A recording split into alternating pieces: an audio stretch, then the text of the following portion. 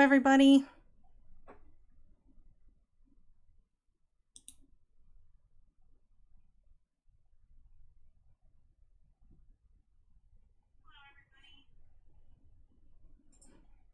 Look at that. Audio's working on the first try. I am so proud of myself. Oh, let's turn on the captions. There we go. Ha! Figures I finally almost know what I'm doing. You do have a question already in the chat. And apparently I have a visitor too. My doorbell just rang. Please hold for one second, chat. I will be right You back. want me to go?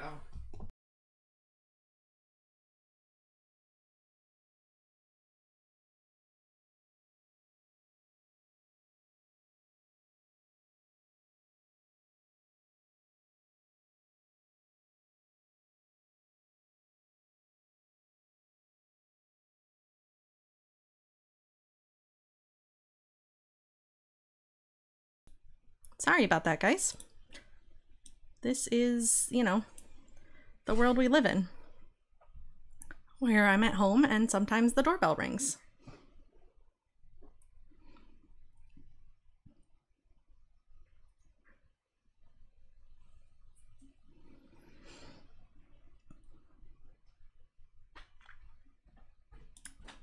I am bringing up my Oh, that is very big. I am bringing up my slides. Let's make them kind of smaller though, because that's very big.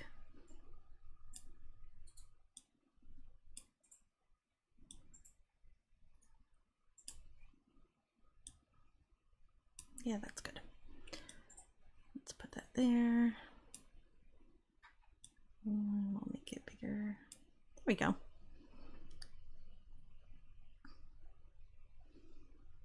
All right, there was one question already in the chat. So let me see. This is assuming we take all of the ITS 23 exams. Are there any other topics we should study outside of what is listed under subject of examination? Uh, thank you for the question. There are no extra topics. What's listed on the subject of examination is what's going to be on the test. Period. They aren't allowed to put anything else on there. That's, you know, civil service has to tell you what's going to be on the test, and uh, that's what's listed in the exam announcement.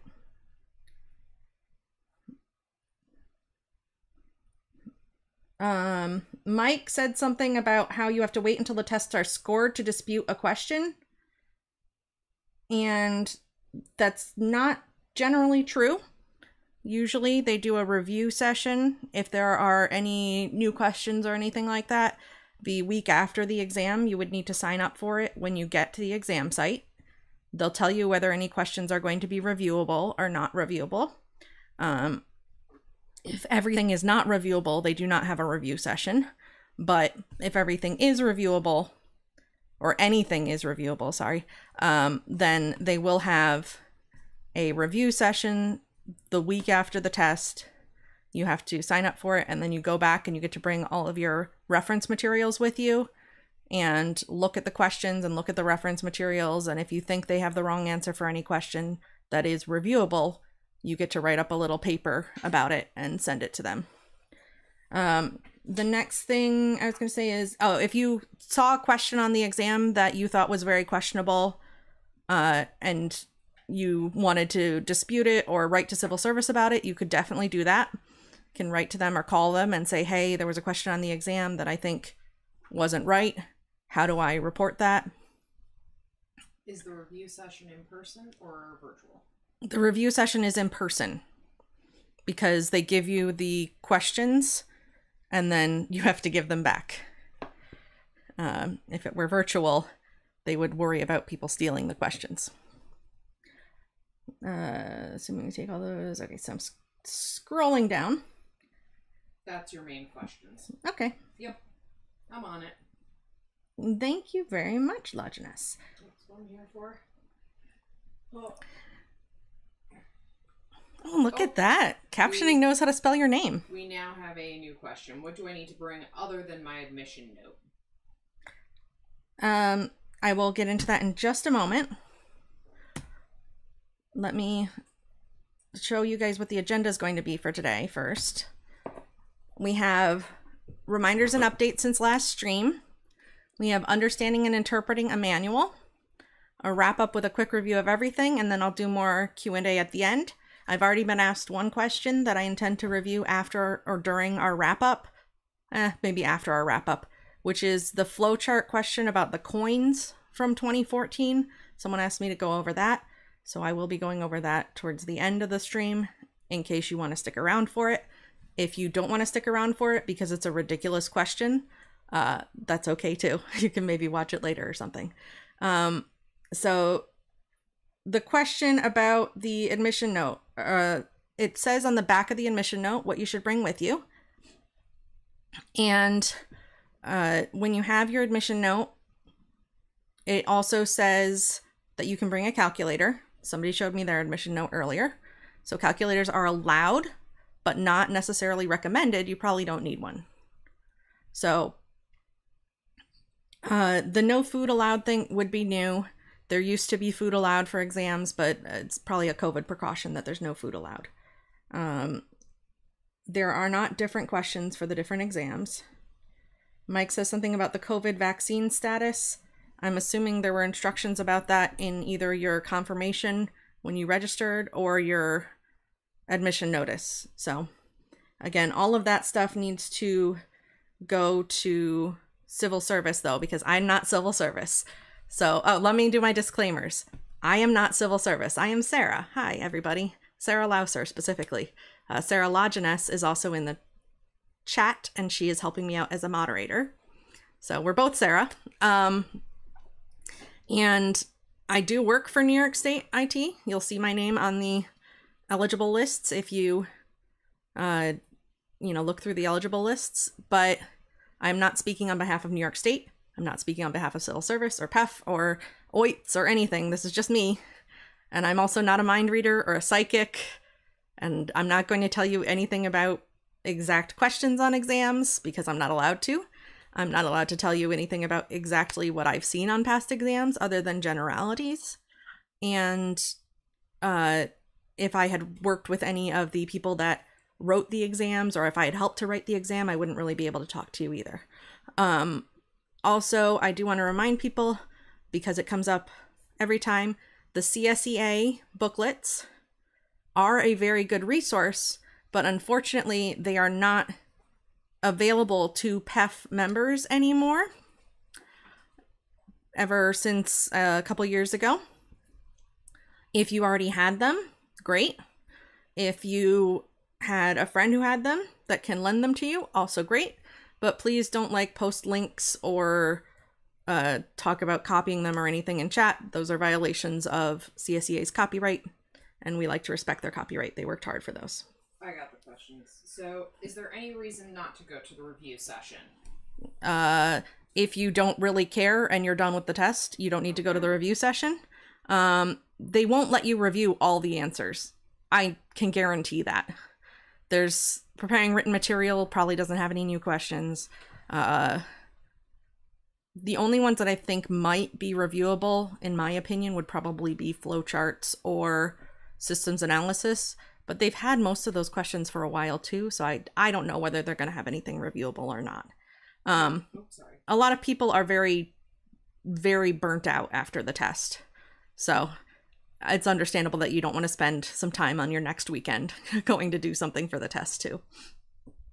All right, calculator type. I think I said before that I like the TI 30X2S. Um, hang on one second. Oops. That was a sneak peek. What's coming up? Hang on.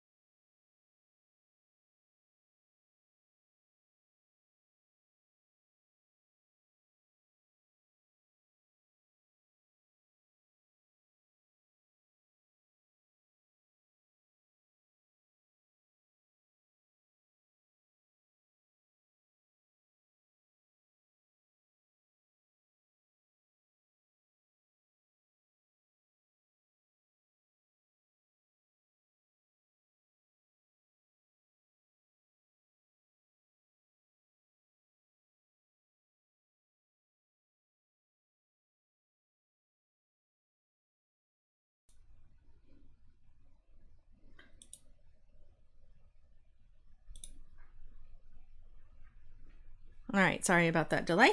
Um, big one. I uh, excuse me. I'm scrolling back up for the questions for a second. Um, Writing them down. so I was on model of calculator. Uh, Yep. thank you. My lovely assistants are helping me out here. I was just gonna show you guys the one that I was talking about. If it's even in here. Oh, of course it's not in here. Sorry. I must have taken it out for an exam or something. All right, so this one's fine. This is the cheapo like dollar store one. I mean, this one's from Staples, but these guys are fine. Oh, is it this? Yeah, that's the one. Thank you. Thank you. There's my favorite boy. These are like my children. I have so many of them. This one is the one that I was saying that I liked before. Um, it's the TI-30X2S, and I like it because if you type on it, like one, two, three plus four, five, six equals. Um, let me see if I can get it to show up in the thing. Not really. You can kind of see it. There you go. You see how it shows you the line that I just typed and the answer at the same time? That's nice because then you can double check that you didn't mistype something. So I like that double line display. These are just on Amazon or on Staples, I think sells them. Walmart might sell them. I don't know. They're everywhere. Uh, so that's the TI-30X 2S. They don't pay me. It's just the one I like because it has two lines of display. Okay. Uh, is this a paper exam or Chromebook? I don't know. You have to ask civil service whether it's a paper exam or a Chromebook. Is there any break during the testing time period? You're allowed to take uh, you're allowed to take uh like bathroom breaks and whatever whenever you want. You're an adult. Um, so it's not like they lock you in the room. There's there you have to talk to the proctor when you want to take a break. Uh, and you know just raise your hand. The proctor will come over and you can say, "Hey, I have to go to the bathroom." Or whatever, and they'll let you go out into the hall, go to the bathroom, and come back. Okay. How long it, are you allowed to take the test for? Again, that's a civil service question. How long are you allowed to take the test for? Um, if anybody called civil service to get that answer, they could maybe post it up on the chat. But uh, you'd have to ask civil service. The food question, I'm seeing some. Uh, I'm seeing some some questioning about the food because some people are saying it says a light lunch or a snack or quiet snack. Um, then you'd again have to ask civil service. I mean, I guess it probably doesn't hurt to bring like a, a quiet snack with you just in case you can eat it, but especially if it is a long exam. Um, but it should only be uh I think I said 60 questions before and then somebody pointed out that systems analysis might have 30 questions instead of 15, which is true, it might. So that would be like 75 questions. So even if you take like 2 3 minutes a question, that's maybe like 3 4 hours for your test. You could probably handle not eating for 3 or 4 So, hours. People in the chat are saying they called, or people called, and it looks like four hours. Okay. So up to four hours, then that's probably not, you know, you need a snack. You'd be fine. Um, mostly. Obviously, if you needed, uh, obviously, if you needed, like, for diabetic reasons or something, you needed a snack for some other reason that's an accommodation, you'd have to contact them and make sure that you can be accommodated appropriately. Okay, how long does the test score last in CS database? The test score lasts in the civil service database until either the list expires or the next test is given. So if there's a new list created, it will immediately deactivate the old list, even if the old list still wasn't expired yet. They also sometimes do extend the lists if they're not giving a test for a while. Um, that I don't, I don't think that would happen with IT, just because there's so much um, movement in the IT workforce that they kind of need to keep refreshing. Are you allowed to bring your phone in? Uh, I believe the admission notice says not to bring your phone. If you can leave it in your car, that's great. If you don't have a car or something and you need to call somebody for a ride afterwards, I would say you can bring it, but I would bring it and I would turn it all the way off and I would put it in some sort of a enclosed bag and just leave it like under your desk or something so that they know that you're not taking it with you or give it to the proctor to hold for you or something. But I would just be double careful, triple careful about that. Okay. Are you allowed to bring in scrap paper? You're not allowed to bring in scrap paper. If you're allowed to have scrap paper, they will provide it for you and collect it afterwards. Remember, they're being protective of their exam questions, so they would uh, not want you to be writing down exam questions and taking them with you, or writing down notes and bringing them in. So, if they allow scrap paper, which I believe they usually do, uh, you would be provided it at the exam, and they will collect it again after the exam.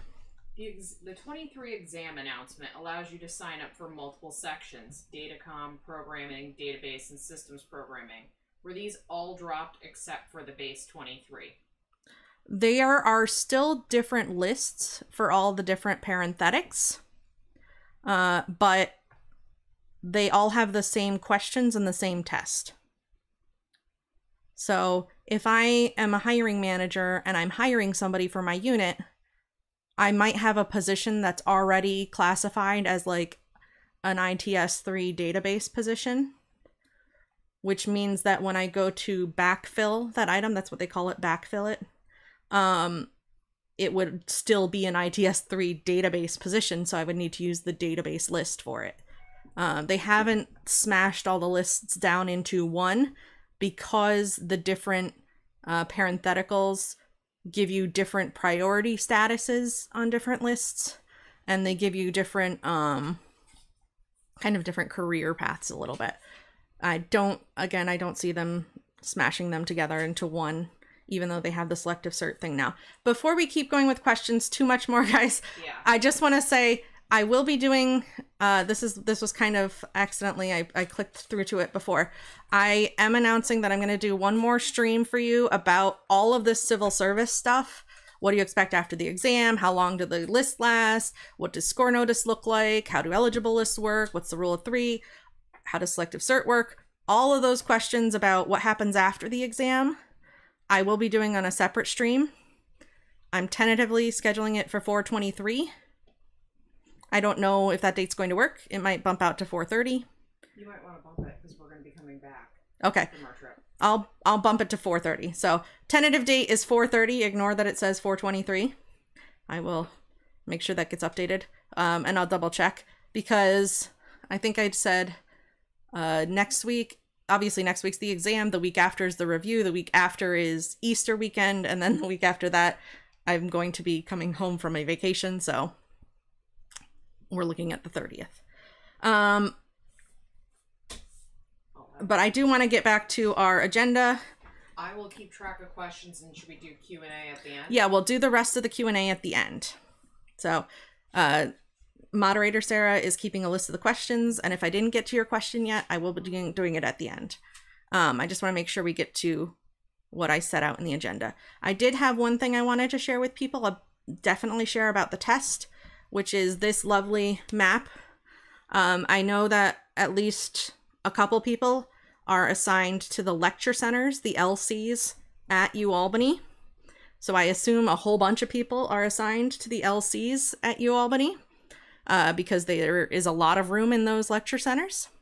So I'm giving you a little map here of how to get to the LCs and what they look like. So you're going to want to go to SUNY campus. Um, if you haven't been there before, please check online for the campus map for parking, for where you're allowed to park.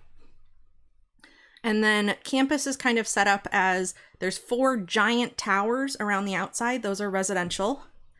Uh, those are where the dorms are for undergrads. And then the whole middle of campus is what they call the academic podium, and it looks like this big gray square here on the on the map. This square assumes that you're like the top of the square would be where that big circle of Albany is, of U Albany. So there's that big circle at the front of campus. They call it Collins Circle. Um, so the top of this is approaching from that circle.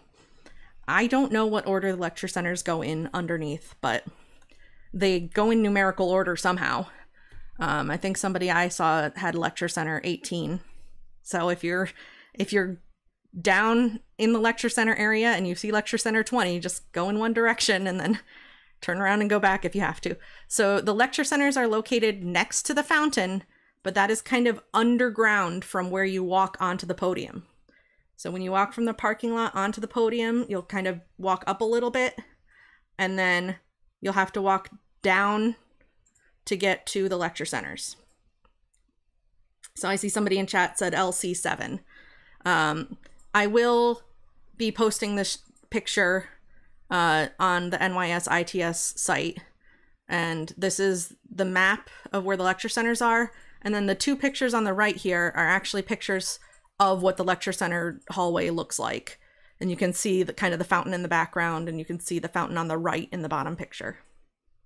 I linked to the map in the. Oh, you linked to one map in the thing? Yeah, it's uh, got other stuff around it, but the the same things in the center. Okay. Yep. Sounds good to me.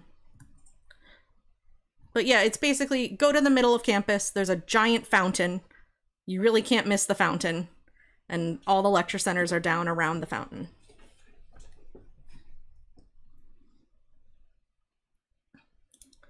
So Sarah LJ posted a picture of the uh, U Albany map.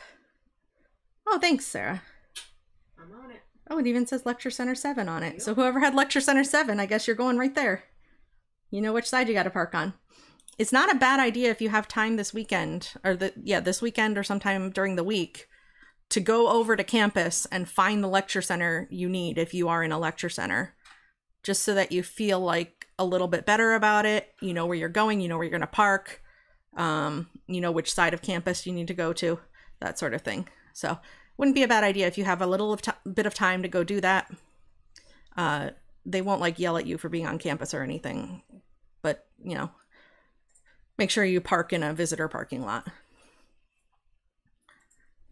Okay, so I did want to share that because I know that that's probably a question a bunch of people have. If you have a a different location, maybe do the same thing. Maybe look up where it is do a little drive out there or have somebody drive you out there so you can check it out to make sure you understand where you're going on test day. Because you don't want to be late for the exam. You probably want to be early, actually. Um, let's go to understanding interpreting manual. Oh, the other thing I wanted to say is some people are assigned to Saturday and some people are assigned to Sunday.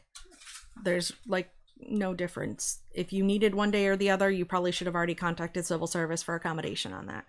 But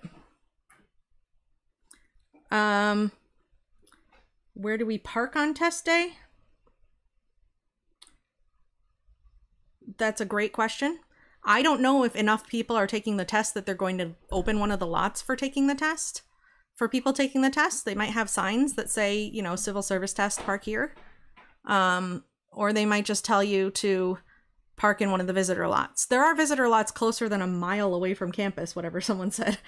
Um, there are some visitor lots that are very far away, but there are some that are closer. Um,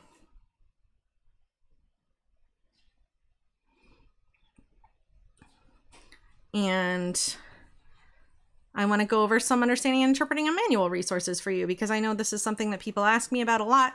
I didn't have anything. I didn't have anything. I went through all those civil service uh, practice questions again, and I did find something that's very similar within the actual questions from civil service.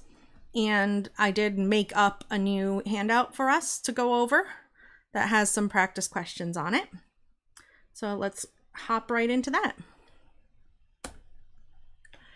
The first thing I want to do is read you guys the civil service description of what these questions are. These questions test for the ability to comprehend a set of directions and apply them.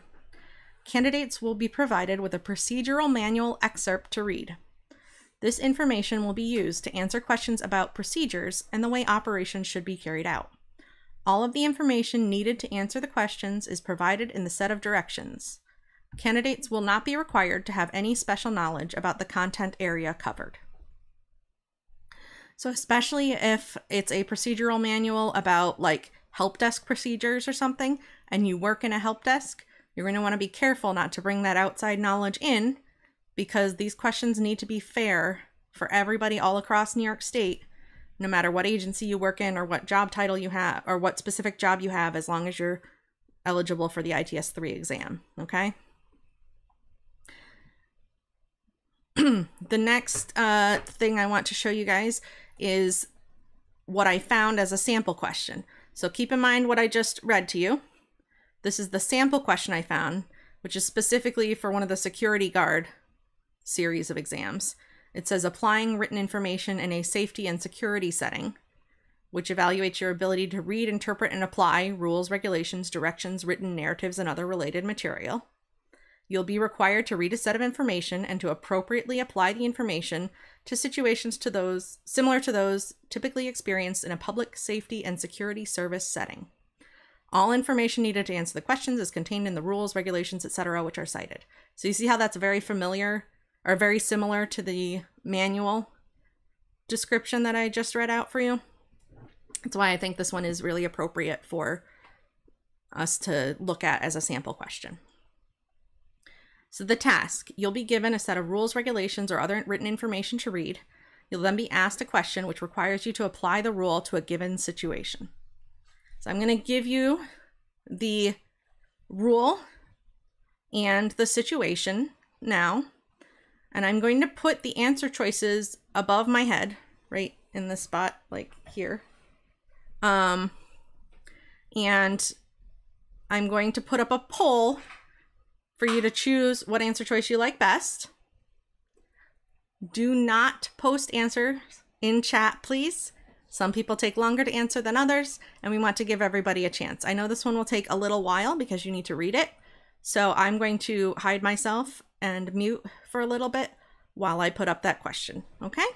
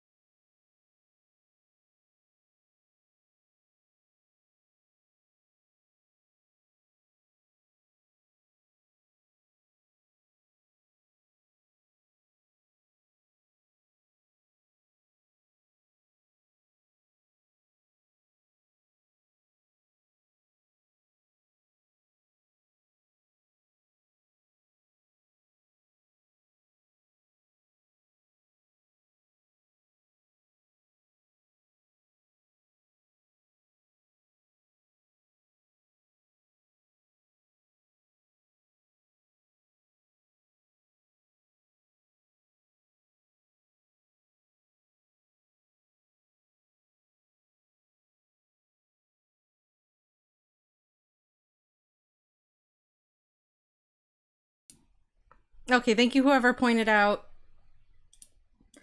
It was a bunch of people. yeah, a bunch of people pointed out that I forgot to actually tell you what the question was, and I apologize for that. I did post it in the uh, poll. The question is What, if anything, should you record in your notebook? I apologize. I didn't have room to put it on the screen, and that's my mistake. Um, so, to everyone who assumed what the question was, be careful about that. And to the people who asked, awesome seeing that the question wasn't there. Uh, yes, all of the first three things were true, but only one of them needs to be recorded in your notebook. So the question was the ABCD is on um Dinesh, the ABCD is on the uh it's on the video, not on the poll, uh, the values. But that was uh, our little practice one, so we'll call that a practice. Uh, I'll give you guys the correct answer, though. Again, I apologize for the forgetting to give you the actual question, but that's what happens when we're live sometimes, you know? So here was the question based on the rule and situation, what should be recorded in your notebook? Um, I see somebody saying their screen is frozen. If it's frozen, please just refresh your browser. It'll come back. Um, the office was dark when you entered it. No one was in the office. The door was open at 11:20 p.m. or no entry needs to be made. The correct answer to this one is letter C. Letter C in as for cookie is good enough for me. Um, so just to explain why letter C is the correct answer, the rule that we have states that we should take notes when you observe something out of the ordinary. So it's not out of the ordinary for the assistant director's office to be dark. So letter A is not correct. It is not out of the ordinary for the office to be unoccupied. That is not correct. But it is out of the ordinary for the door to be open. So it says when it you observe something out of the ordinary, that's what you have to write down. So C is the correct answer. Um, that's what you need to be sure to record. I can post this question with the civil service explanations to the uh, the site as well here. Actually, here I'll put it. I'll put it in the description of this right now. I already have it uploaded, so I just need to get the URL and pop it in the description of our live stream.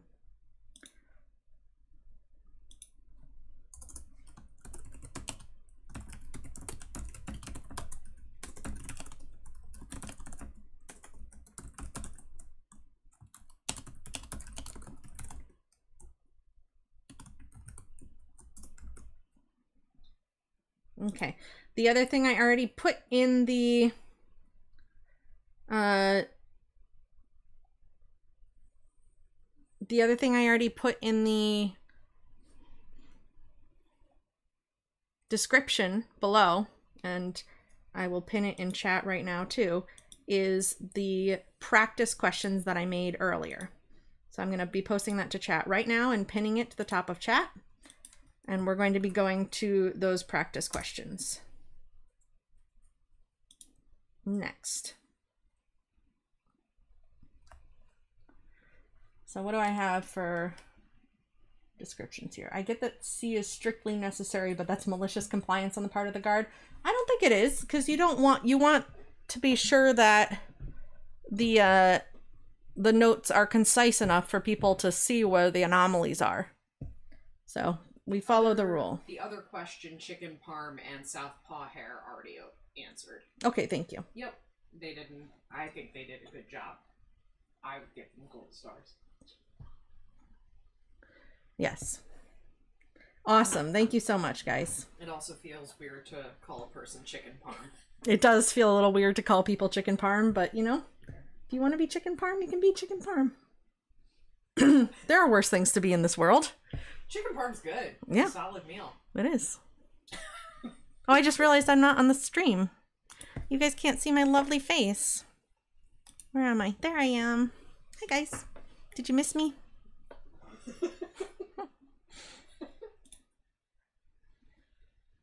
Are you laughing at me, Sarah Loginus? It's just in general. it's just us today. Yeah. All right. So I gave you I gave you the uh getting a little punchy closer to the exam, you know. Uh we're going to go over to that practice PDF. The link should be in the description for you and it's pinned to the top of chat. So if you want to go grab that, I'm going to start going over some tips for understanding and interpreting a manual. And a lot of these are just going to be common sense but it doesn't hurt to reiterate common sense sometimes. Just a second. I go through so much water on live stream days. So, the first tip I have is to read all the directions carefully. Sometimes when you go to read the question, there is information in the little bit before the procedural manual where it kind of introduces what's going on. So make sure you read all the directions carefully so that you're not missing any extra information that might be written up at the top. As you're reading through your manual, especially if it's a bunch of steps that go in order, make yourself a little mini flowchart if it's helpful. Third, read the question carefully. If I had provided you the question for the sample, it would have been easier for you to do that. But read the question carefully and make sure that you're answering the question that is asked. Remember, sometimes there's the word not, so you need to make sure you circle that and draw big arrows so that you remember to not do that.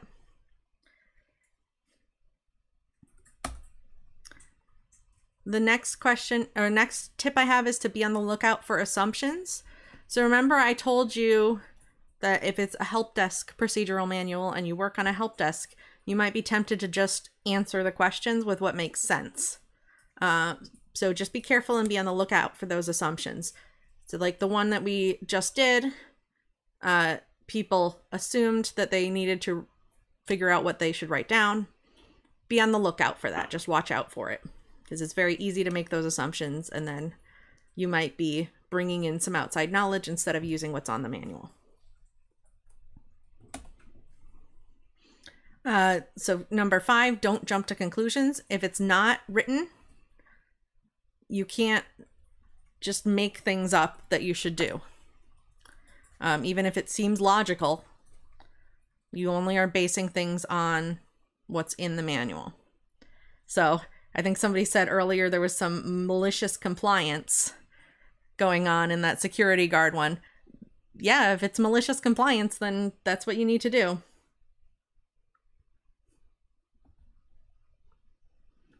Uh, the next tip I have is cross out wrong parts of answers as you find them. So if you're reading through your multiple choice questions and you can find what's wrong with one of the answers, why it's not the correct answer, cross it out, circle it, do something to let you know that that's the wrong part of the answer. And watch out for any exceptions to the rules. So you do need to read the whole manual through once to make sure you can see if there's any exceptions to the rules at like the bottom. Maybe it's a help desk manual that says, you know, here are the priorities for here's how you set priority for an incident. You know, if it's affecting this many users is this priority and affecting that many users is that priority. And then maybe there's a whole bunch of other stuff about help desk procedures.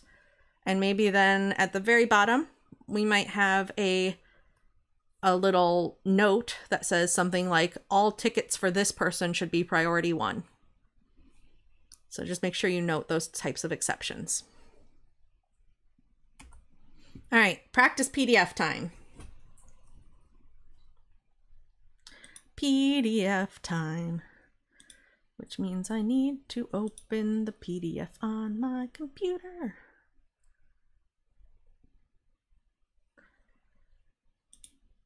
Apparently, our chat is fun. Our chat is fun. That's nice. That's better than it being boring and like. I like that. This is Chicken Farm's first week joining us live. That's nice. Welcome. These are Chicken Farmers. Um, you guys are silly. Okay, so here is the PDF. Let me choose the correct PDF. PDF.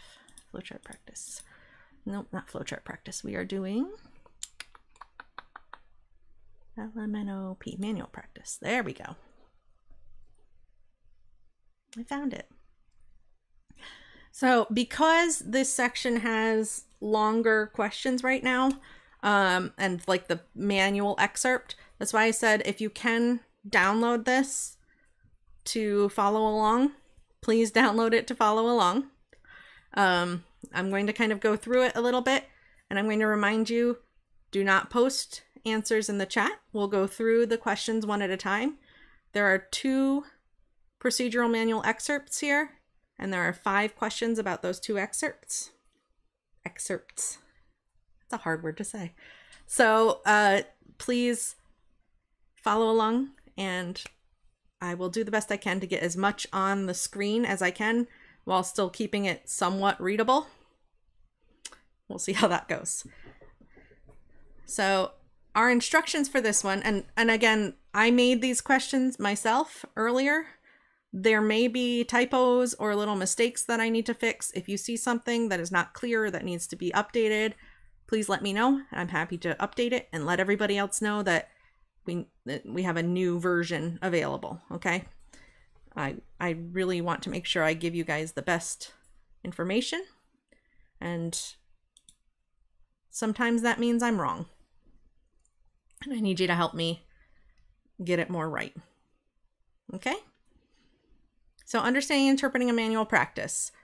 The following procedural manual excerpt describes sample collection for the Maine Board of Pesticides Control, BPC.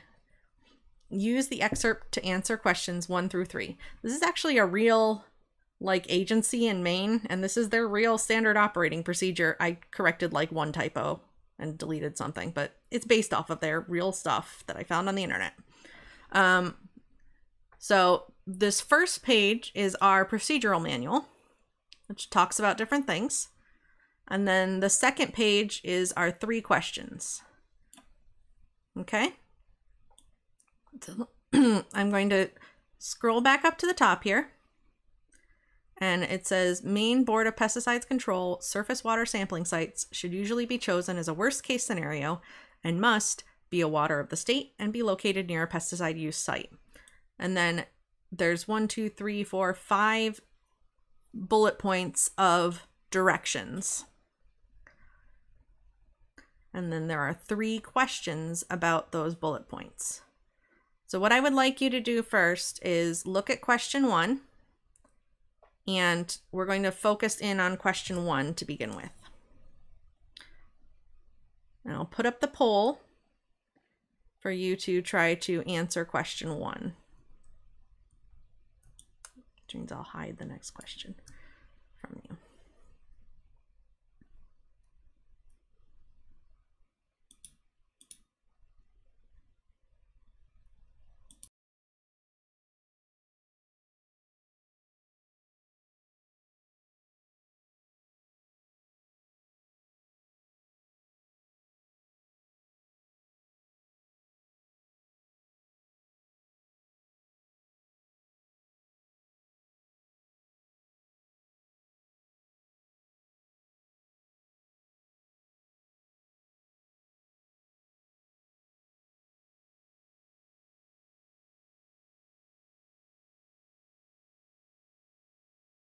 I just put on a two minute timer as well. If it takes you longer than two minutes, that's fine. I'll put the poll again up in chat. Please don't answer in chat, only answer the poll.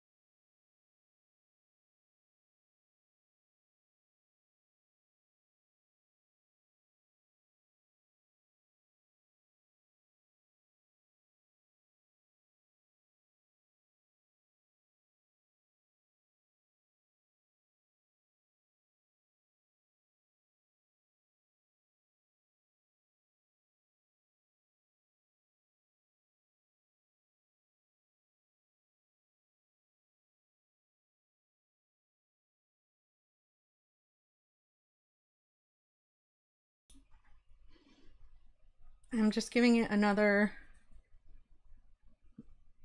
minute because uh, I was expecting more poll answers. So I just want to make sure people had enough time to choose an answer before I go over the question. Um, Mike says, are the odd CSEA specific questions about what you should do about your coworkers doing weird scenarios going to be on the exam again? Uh, are you talking about the Mike, are you talking about the supervision questions? Because that is not a topic for this exam.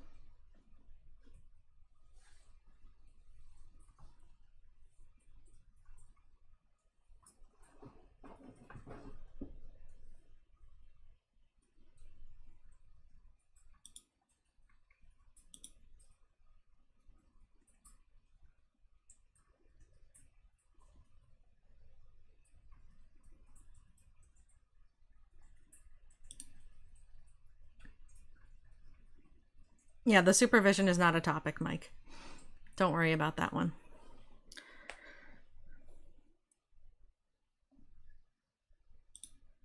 All right, so for question one, the correct answer is letter D.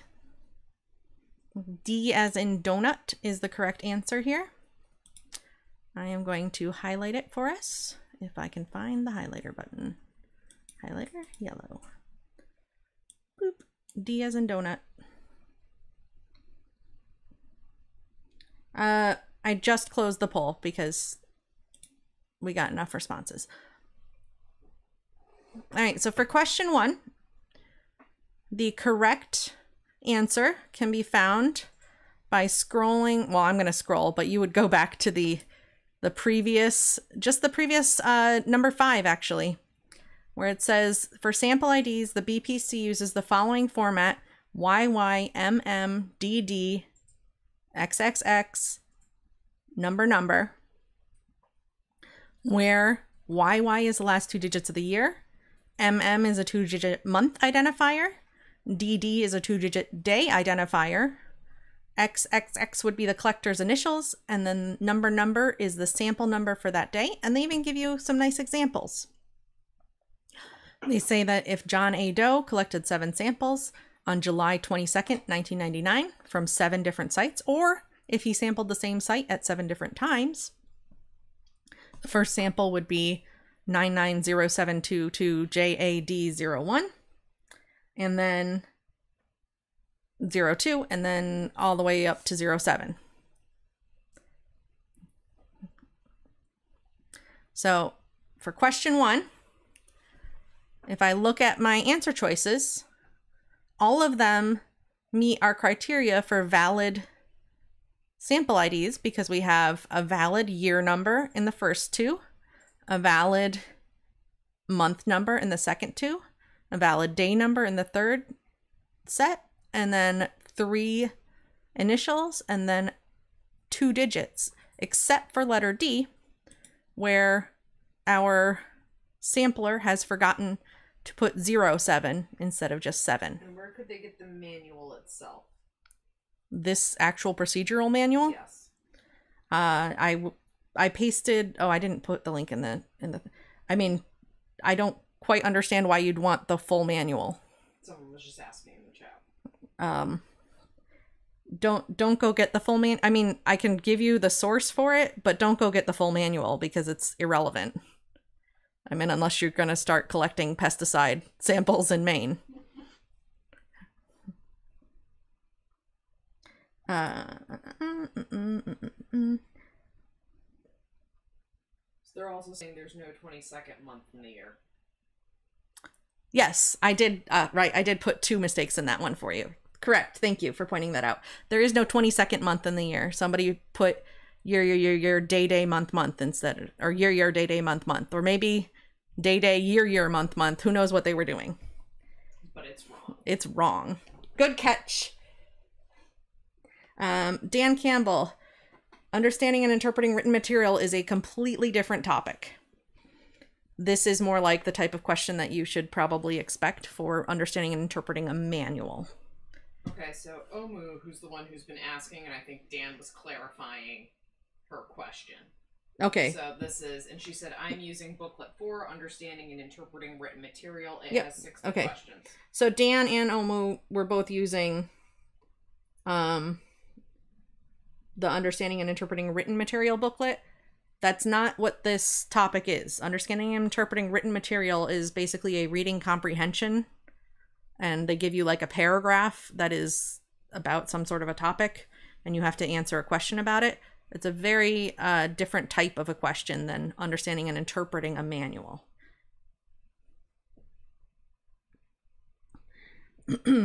ah, and I see that Dan also got caught with the not a valid sample ID. So remember, look for look for those keywords.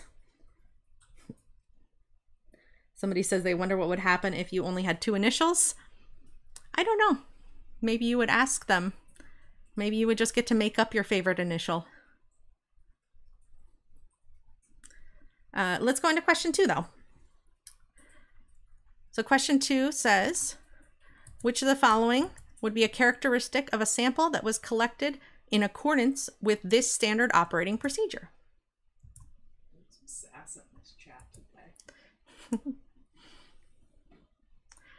And I will put question two up on the board here. And I will make this a little smaller so that it's only question two. And then, I'll go get that question and then you can answer it later. If you want?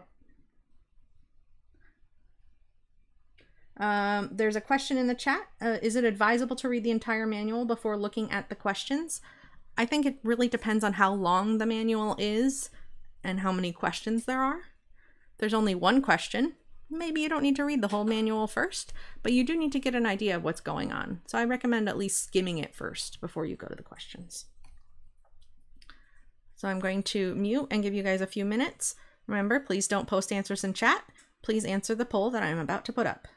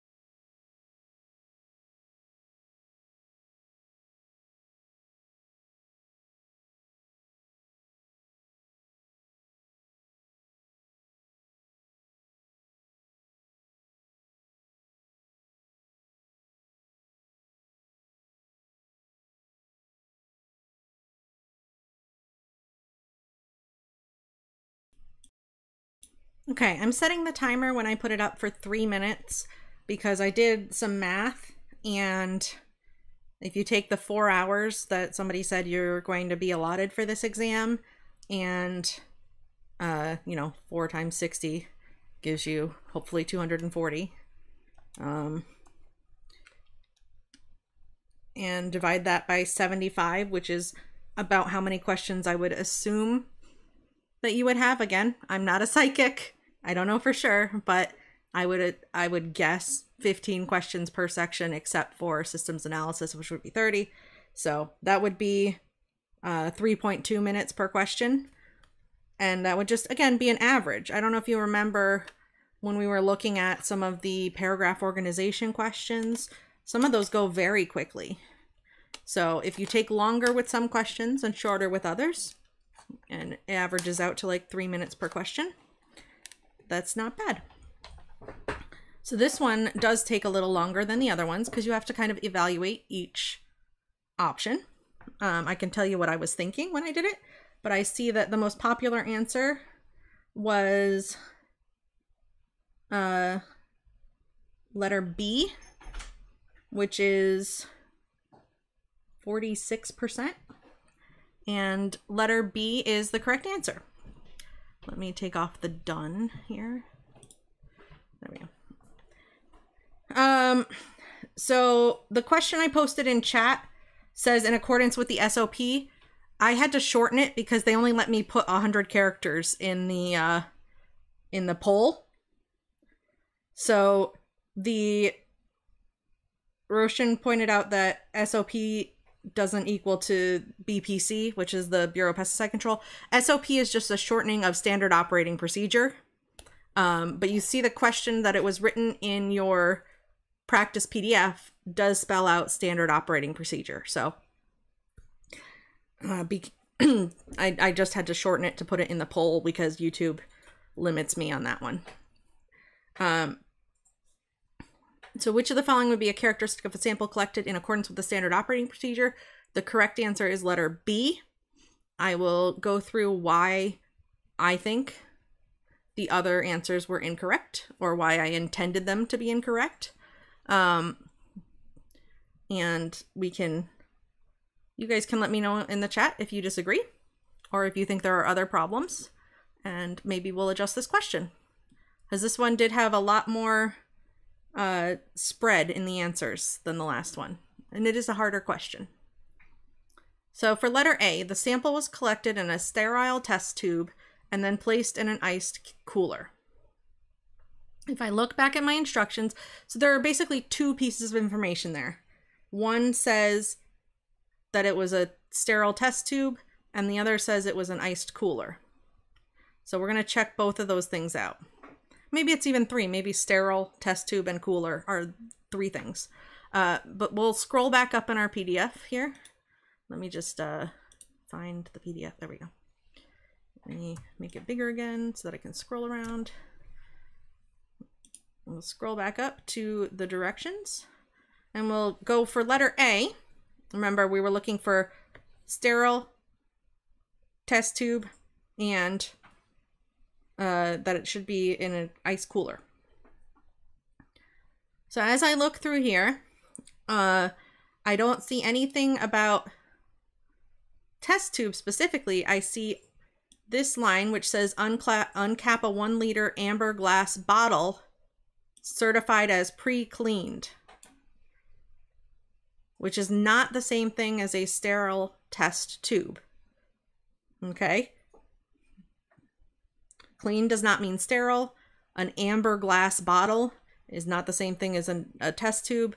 A one liter and a test tube are vastly different sizes, but I gave you a whole bunch of different reasons why uh, it would not necessarily be letter A. Uh, pre-clean does not have to be sterile. It just has to be cleaned for collection of pesticide samples. So it doesn't say it has to be actually sterile. You're making an assumption if you push it to it has to be sterile. Um, I did make this one a little bit tricky because at the bottom, the ice coolers for preservation is there. That is a correct part of it, but the first part of that statement was incorrect. Letter B, as I said, is the correct answer.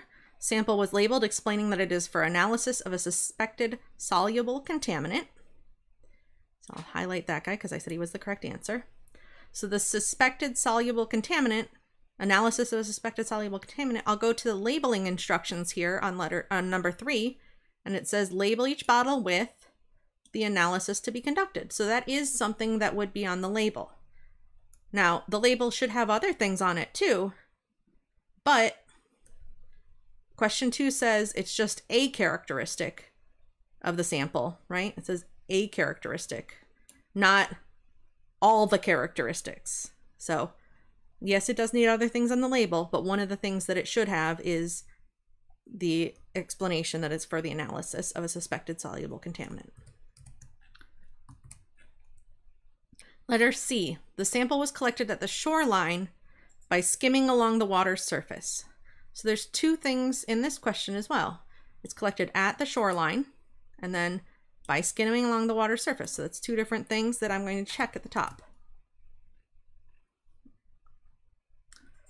So this first number in our procedure seems to be talking about where we should sample things. And it says, once a section is selected for sampling, put on a fresh pair of gloves, and if it's the water body is big enough, way to reach out as far into the river or stream as practicable. Or use a sampling pole that extends out beyond the shore. So those two combined make me think that sampling right at the shoreline is probably not what I want to do. The other thing it says is skimming along the water's surface. And I actually, again, gave you something that is in the in the procedure manual for the second part of that one, which is collect the sample from the upper layer of water by skimming along the surface, which is one of the ways that you can collect a sample. Skimming along the surface is fine, but it says either you have to wade or reach out as far as you can, or use a sampling pole to get out as far as you can.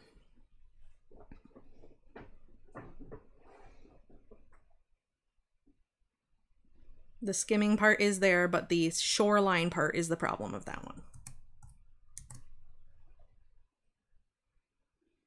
And then letter D, the sample was filled with a small amount of air at the top to allow for better mixing. That's really only one statement, that it has a little bit of air. Well, maybe two things if we said it's for better mixing. Um, but if we, again, look at how should we collect a sample, Number two says fill the sample jar completely with no space in the jar, no air space in the jar after the cap is put on. So we're supposed to fill it with no air space. So leaving the air space is incorrect. Does that question make sense to everybody now?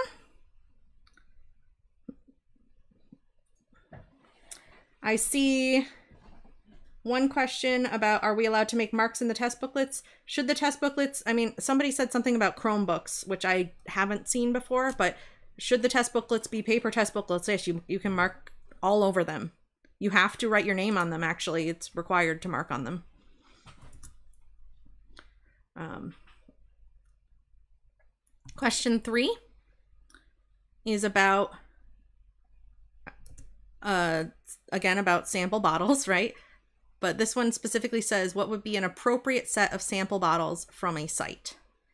So you have to look at the given answer choices and we're going to see if we can figure out whether which one of them is an appropriate set of sample bottles, like which one's labeled properly. Let me move this over just a little bit so you can see the full thing. There we go.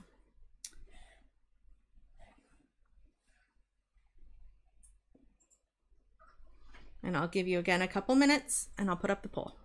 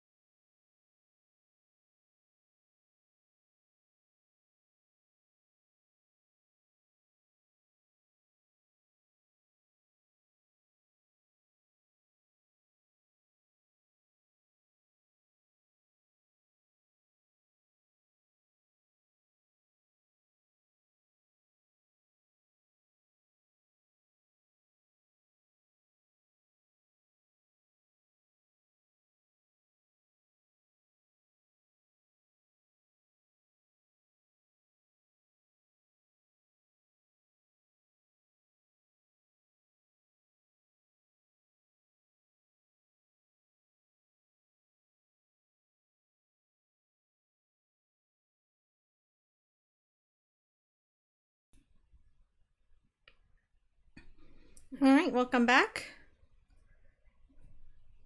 In this set of questions, or sorry, this set of answers, uh, this is testing whether you understand the labeling directions correctly. So, A, B, C, and D are all different ways of labeling the sample bottles that might have been collected at a specific site. Um, the correct answer to this one is actually also letter B, just like the previous one. Let me go through why for you. I'll highlight the answer so that we have it. Oops. Nope, not like that. I guess not. Highlight this and then highlight this separately. There we go. All right, so let's look at our labeling instructions and then figure out why some of these are not correct.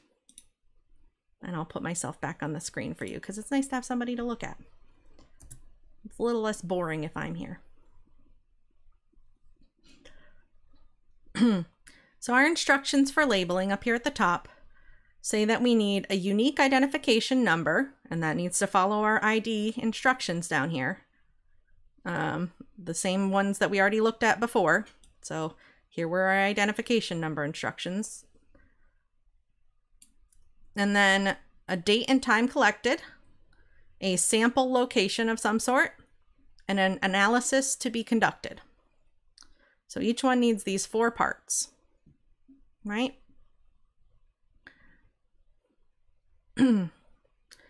so an appropriate set of sample bottles from a site. So one of the keywords here is a site, meaning they should have both been at the same site, which eliminates letter C because on letter C, I have a difference.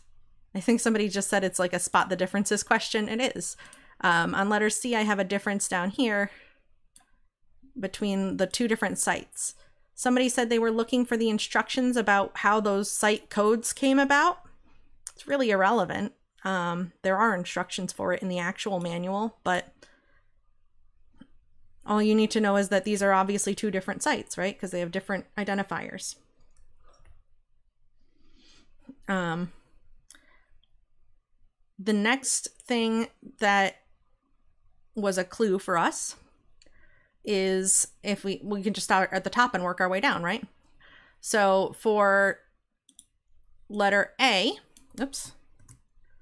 If I start at the top for letter A here, I'm going to highlight my ID numbers. So you can say I have the same ID number for both of these samples.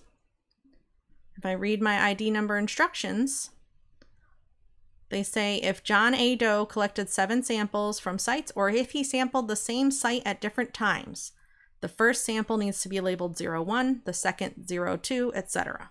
Saying uh, option C has no time. Uh, I was getting there. Thank you, though. Thank you, everybody, for finding it.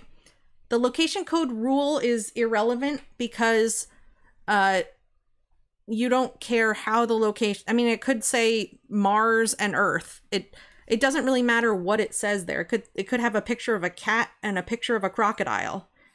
If they're not the same, you know it's not the same location.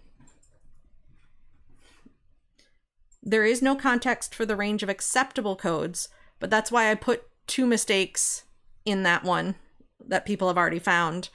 We're also missing a time on letter C. So that was the other thing that I left. I was trying not to trick you guys up too much. I did give you two things wrong with that one. And then for letter D, uh, the last piece of information is supposed to be the analysis to be conducted. And for letter D, I instead put kind of like facts about the collection. So this is not a correct thing to put in the. It doesn't. Well, maybe you can put facts about the collection, but it doesn't have what analysis you're supposed to do on it, which is what's wrong. So even even if we don't know for a fact that AAB PCS 112 and AAB PCS 113 are different sites, we are still missing a timestamp on letter C. So that is also a reason why letter C is not correct.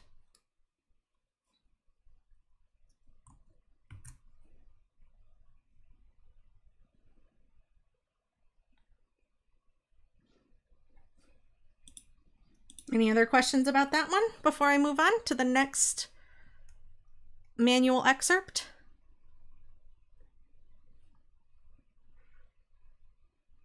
I do have some other manual samples that I've collected, um, but it's actually kind of hard writing questions about them. So I've only written a couple of questions for you, but I hope this gives you a flavor of what sort of a thing you might expect based on what the exam announcement said to look for. Okay, this one is a much shorter procedural manual excerpt. So I can actually fit this one all on the screen at once for us, which is nice.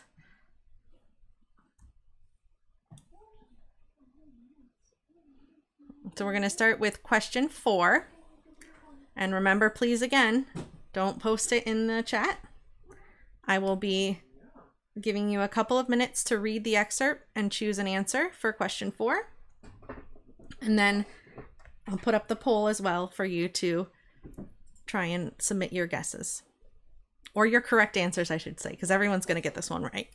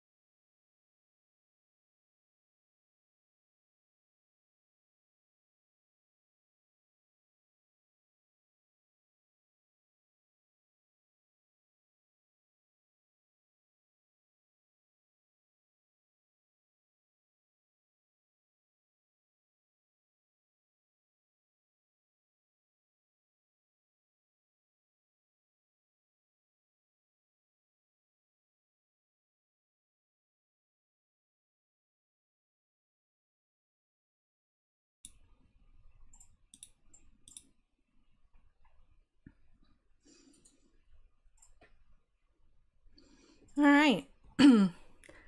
My timer froze because the little timer app thing that I use crashed. So that was fun. I don't know how long that break actually was now, but everybody I think chose an answer. And I did say pretty much everybody was going to get that one right. So good work. Um, the correct answer is letter D. There is not enough information to answer this question, but you can definitely see why I say be careful not to bring in outside information, right? Be careful not to make assumptions. Uh, so only base your answers on the procedure that you're given. Okay? Any questions about this one?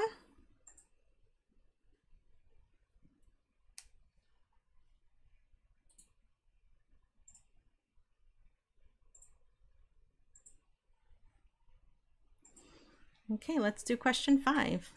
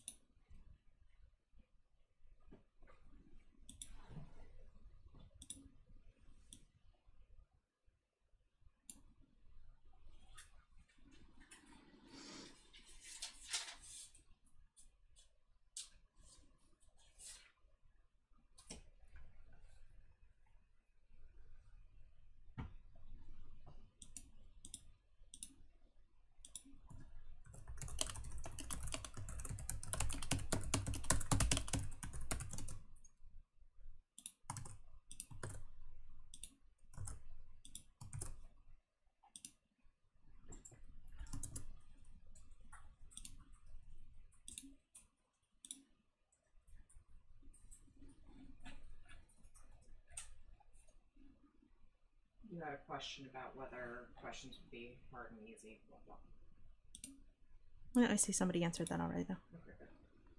I'm trying to put the question and the other thing up at the same time. Oh, I forgot to mute. Sorry.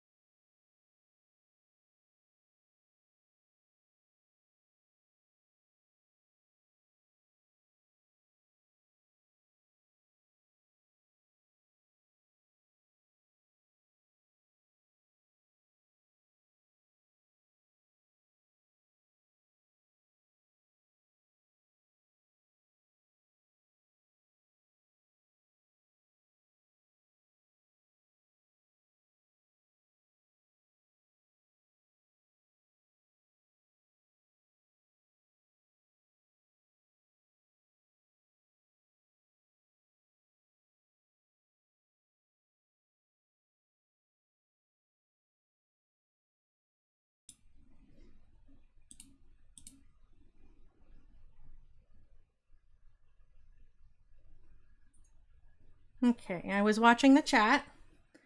And I do see some people saying that this one's a little tricky and that might just be the way I wrote it. Isn't very good. So we will uh we'll update it together to address some of the things that you guys are saying. Uh, I'm going to end the poll now. The answer I intended to be the correct answer was letter C. Um, but somebody did correctly point out that steps four and five don't actually say when you should do them. Um, which is a good point.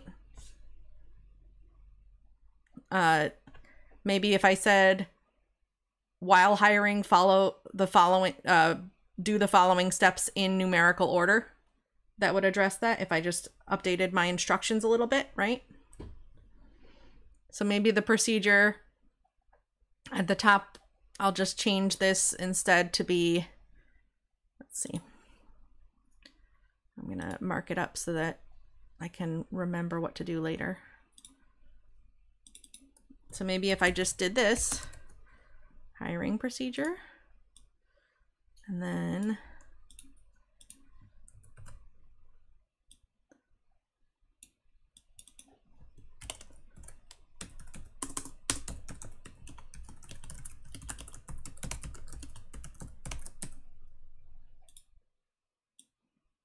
How does that sound? Does that seem clearer? For as far as the order thing goes? And is it even on the screen? no, it's not even on the screen. Cool. Why is it not on the screen?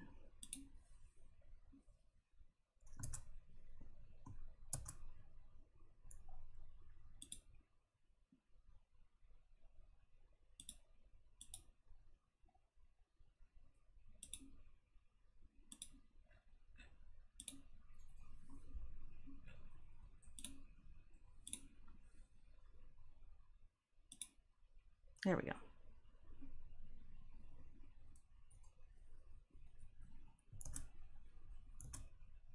What do you guys think of it now? Now that I put it on the screen with a little bit better, little bit better instruction. Does that seem a little bit better?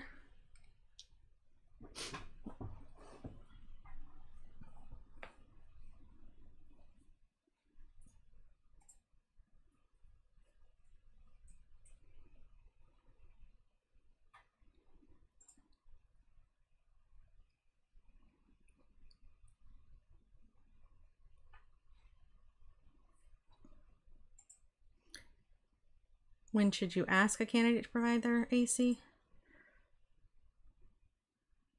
That might be a little bit better.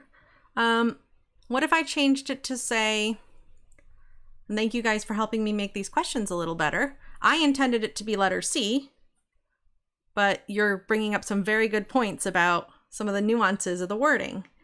So again, thank you for helping me workshop these questions a little bit. I will update the PDF and post the new one very shortly here. Um,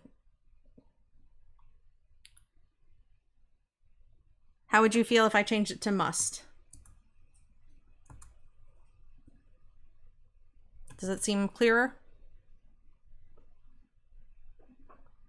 Oh no, my mouse died. I need a new battery. If I just took out the word should and I put the word must instead there. Asking me or them? I'm asking anybody who wants to answer me.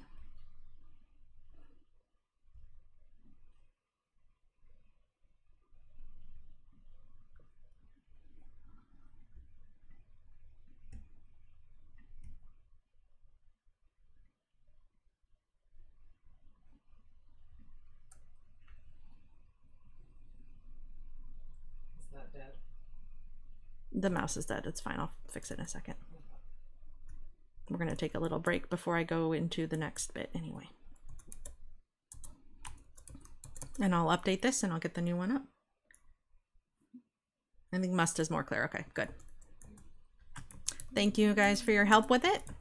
You can see why what I intended. Even, you know, even I can get caught up with some of the nuances of it. So what I intended was, you know, when does the candidate need to provide it? When will they be asked for it? But I didn't want to put the exact words, when should you ask for it? I wanted to make it a little bit harder than that. So I will change the answer choices a little bit too.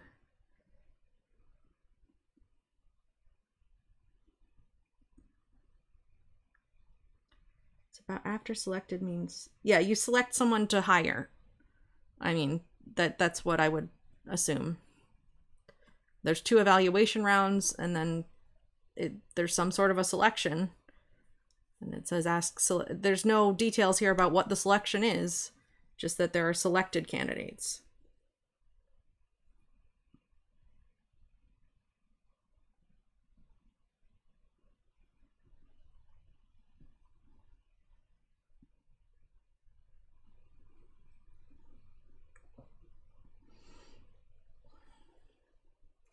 Somebody says this test seems easier than prior tests. You think they're looking for more 23s because the test was delayed so long? Uh, it's exactly the same set of subjects as it was last time, I believe. And it wasn't delayed very long at all. If you think this was delayed too long, then uh, I got sad news for you about working for New York State because this was pretty par for the course. 2010, 2014, 2017. This one's a little bit late, but 2010 to 2014 was not a pandemic and it still took four years for a test. Um, they are trying to do them more frequently for it especially but let me look up i'm just double checking the scores my score notice for the last exam uh, my exam announcement for the last 20 nope that wasn't the one i wanted. This one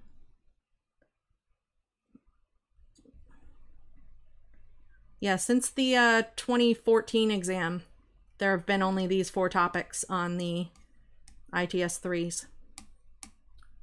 So the 2014 exam was when they changed it. 2014 and 2017 are both uh, were both only these four topics. So uh, they haven't changed what the topics are for a number of years. And uh, Michael said this test seems easier than prior tests. I think that please remember these are not actual test questions. These are my best interpretations of what you can expect based on the examination announcement. Okay? That's where that's where I always start from.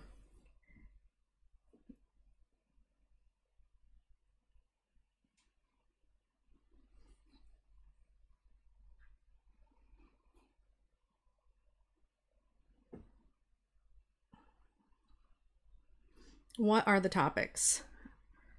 Uh, I'll go over this again after the break, but the topics are systems analysis, and then preparing written material, flowcharts, and understanding and interpreting a manual. We're going to take a seven minute break, and I will come back and I will do a quick review of all the topics and some of the tips for all of the different areas and then I will answer that flowcharts coin problem and we'll go into the rest of Q&A. Okay? That's the plan.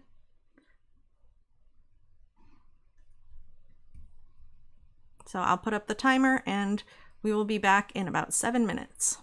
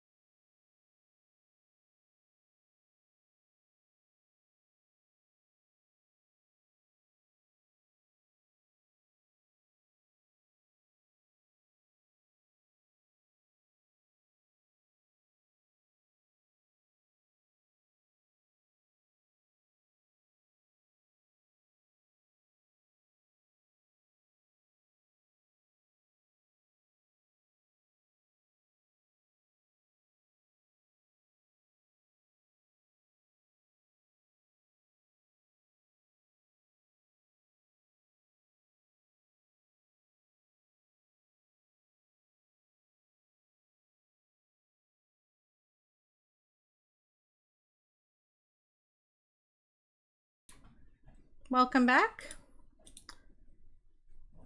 Start back up the captions here. I know the captioning is not the best. I mean, it's just automated captioning, but I'm hoping it helps some people. Trying to be accessible, make it a little easier for people. I know sometimes it says some ridiculous things, so I apologize for that part if uh, if it says ridiculous things while I'm talking, but hopefully it's at least close enough for you to uh, follow along. I am just uploading our new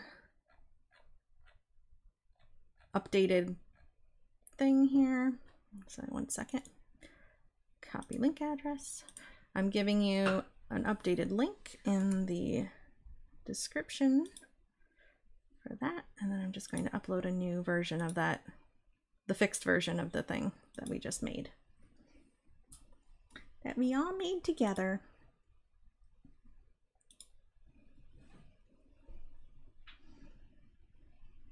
If you still see the old version, by the way, when you come up to the uh, site, and you if you click to download and you still get the old version with the question that's not um the, the where that fifth question is not as clear it's probably just cached somewhere and it'll and it'll update soon so. I will be uploading the new version right now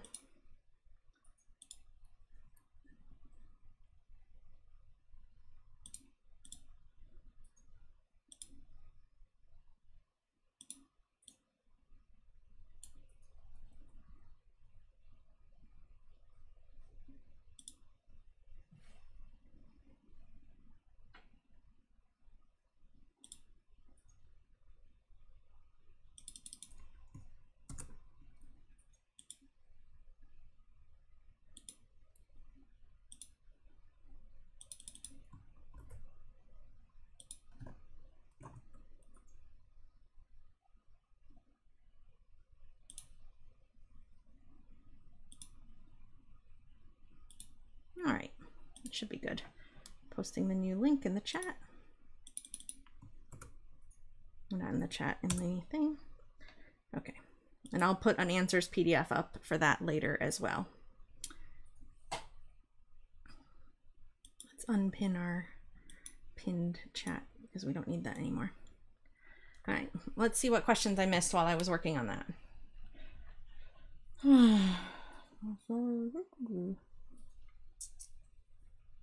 Somebody said it's difficult to find material about the understanding manuals. It, it is, it's very difficult. That's why I was trying to make some material for you guys. I actually saved off a whole bunch of other manuals to try to make some more material, but I did uh, run out of time a little bit. Um, so at least I gave you a couple examples to kind of maybe set your mind a little bit at ease about what that's going to ask of you. In, you know, in my best guess. Like, I, again, not a psychic not charging by the minute for a 900 number for you to call Miss Cleo. We're we're not doing that. Wow, that was a dated reference. It's okay. We're going on. Onwards and upwards. Uh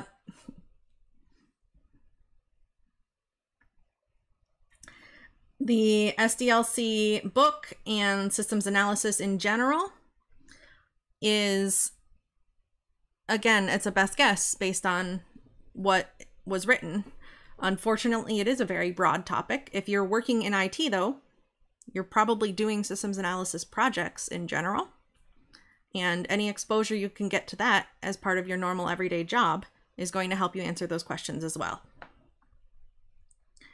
Um, my very first exam that I did, I just went and got all my score score notices earlier um, off the civil service site. So I'm just going to give you guys a little anecdote here about the very very first exam baby Sarah did when she was going for 23. Um, in 2010, I took the ITS 3 exam, and that was my first time I had systems analysis, and I had no idea what to study, and I got 15 out of 15 correct. I got less, fewer correct in supervision, in a couple of other things that used to be on the exam there used to be a section called Principles of Providing User Support. there used to be a section called Project Management Fundamentals. Um, so this test in just this is just for your information. Uh, this was 2010. It had one, two, three, four, five, six. It had 90 questions, and I got. I'm very good at taking tests, so please, you know, keep that in mind as Humble brag. it's not a humble brag it's just a fact um i got three four five six seven eight. I, I got eight out of the 90 questions incorrect. And they gave me a final score of 95 but that was actually the highest score in the entire list. So my list rank was actually one even though i only got a 95 and even though i missed eight questions. So, and I've gotten hundreds on exams before, missing questions. It's always possible. Don't worry too much about it if you miss a couple questions. Um, scrolling down some more. SDLC is deep. Yep. Uh, Dinesh asked the question about client server versus web based.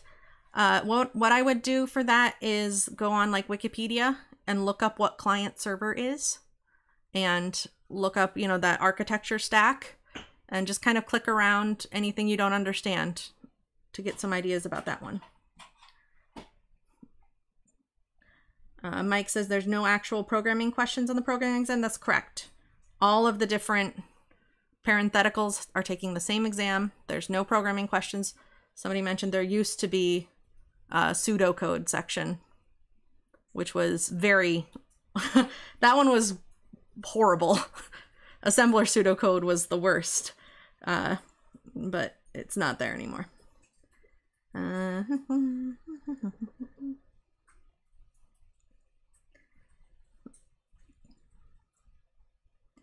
right, some questions about downstate, some questions about email. Yeah, so if you didn't get your exam notice yet, you should probably contact civil service just to make sure um, Thanks, Adam. I like your quoting me.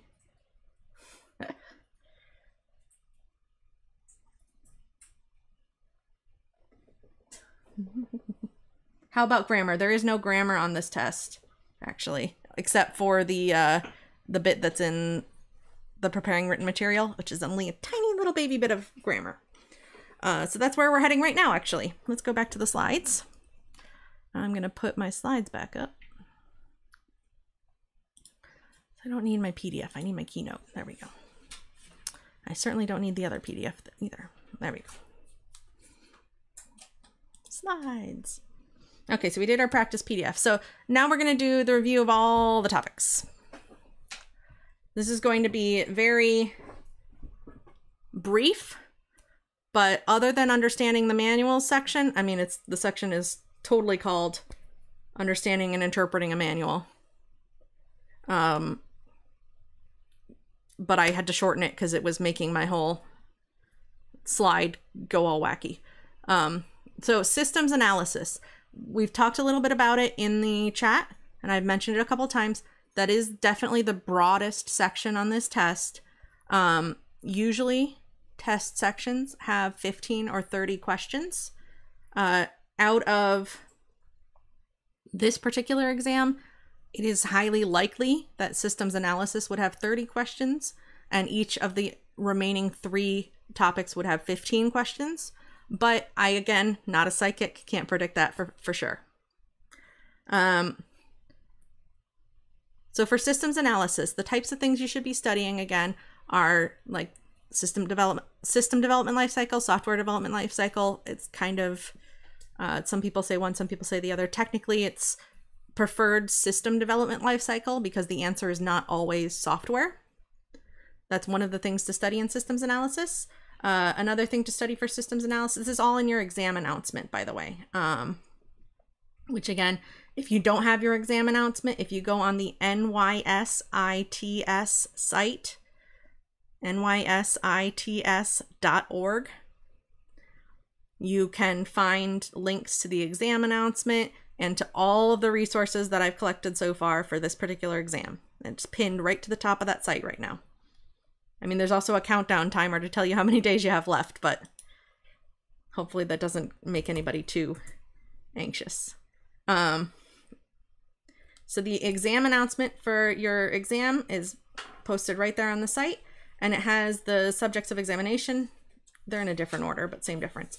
So it says for systems analysis, feasibility and application studies, system development tools and software, systems lifecycle, types of systems like the client server, web based, the whole stacks of systems, controls, systems documentation, testing, and implementation.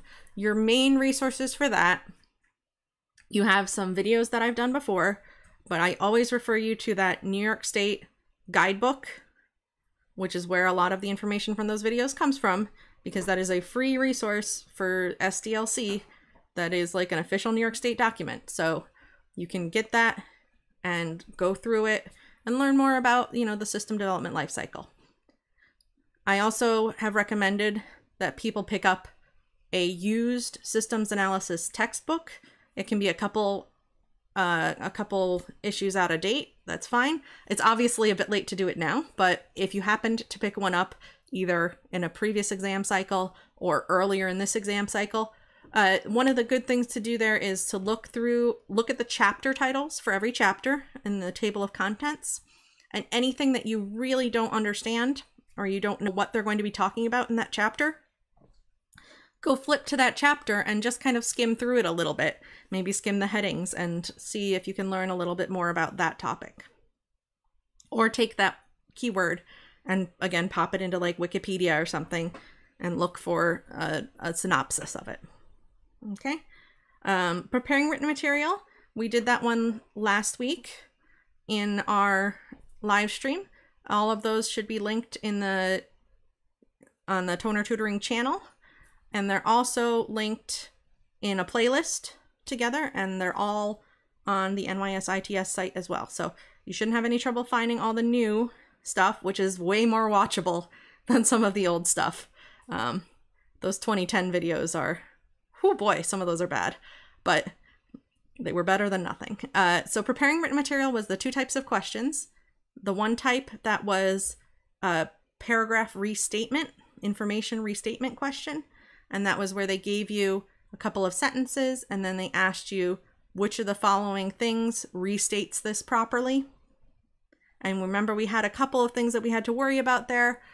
Uh, that was we were looking for restatements that were, first of all, accurate couldn't change the facts around at all. And second of all, we were looking for restatements that followed a couple of grammar rules. The two grammar rules that we talked about in that video were pronoun uh, ambiguity or pronoun incorrect pronoun usage and misplaced modifiers. And they're kind of very similar topics. But if you need to go over that again, please go pop over to that live stream. Um, and I I did mark it up with some timestamps and I think I just saw on the chat that and I'm so sorry if I say this wrong, Roshan, who also timestamped the first video for us on our first live stream. So round of applause for for you. Um, thank you very much. And they just told me that I need a 0000 timestamp. So I will do that so that that one gets properly chapterized. I was wondering why it wasn't chapterizing, but um so that's the first type in preparing written material. Remember, it has to be accurate and then as clear as possible. And it, style mattered a little bit, like repetition wasn't as good or awkward sentences aren't as good. The second type of question was when we had to do paragraph organization and put things in order. And one of the things we had to do in that section was look for like red flag words or question marks. So pronouns where you didn't know what they were referring to, or statements like the governor in the example that we did where it said the governor. And you're asking yourself as you're reading that sentence, what governor? Which governor are you talking about? Um, those were all question mark words, and we needed to find the answers to those before we could use those questions. So we kind of marked up those red flag question mark words or phrases, and then we looked for a topic sentence, and we looked for strong links between sentences to kind of guide us into our answers. And then use that to find, eliminate ones that were obviously wrong and find the best set of materials. We also talked about going how paragraphs, when they're well structured, go from more general statements to more specific statements. And they also would use longer versions of descriptions or longer versions of words. And then maybe we'll use acronyms or shorter versions later on in the paragraph. One of the examples of that was something about email uh, that I use in another class I do for CSEA. They have one in the in their book that talks about something something email, and uh, earlier in the same paragraph it says something about electronic mail. So the electronic mail part comes first, and then later on it refers to it as email. So any abbreviations like that generally come later than the full versions of the words. Uh, if you want more practice with preparing written material, CSEA does have a very good booklet on it. And I, am going to give you the same caveat.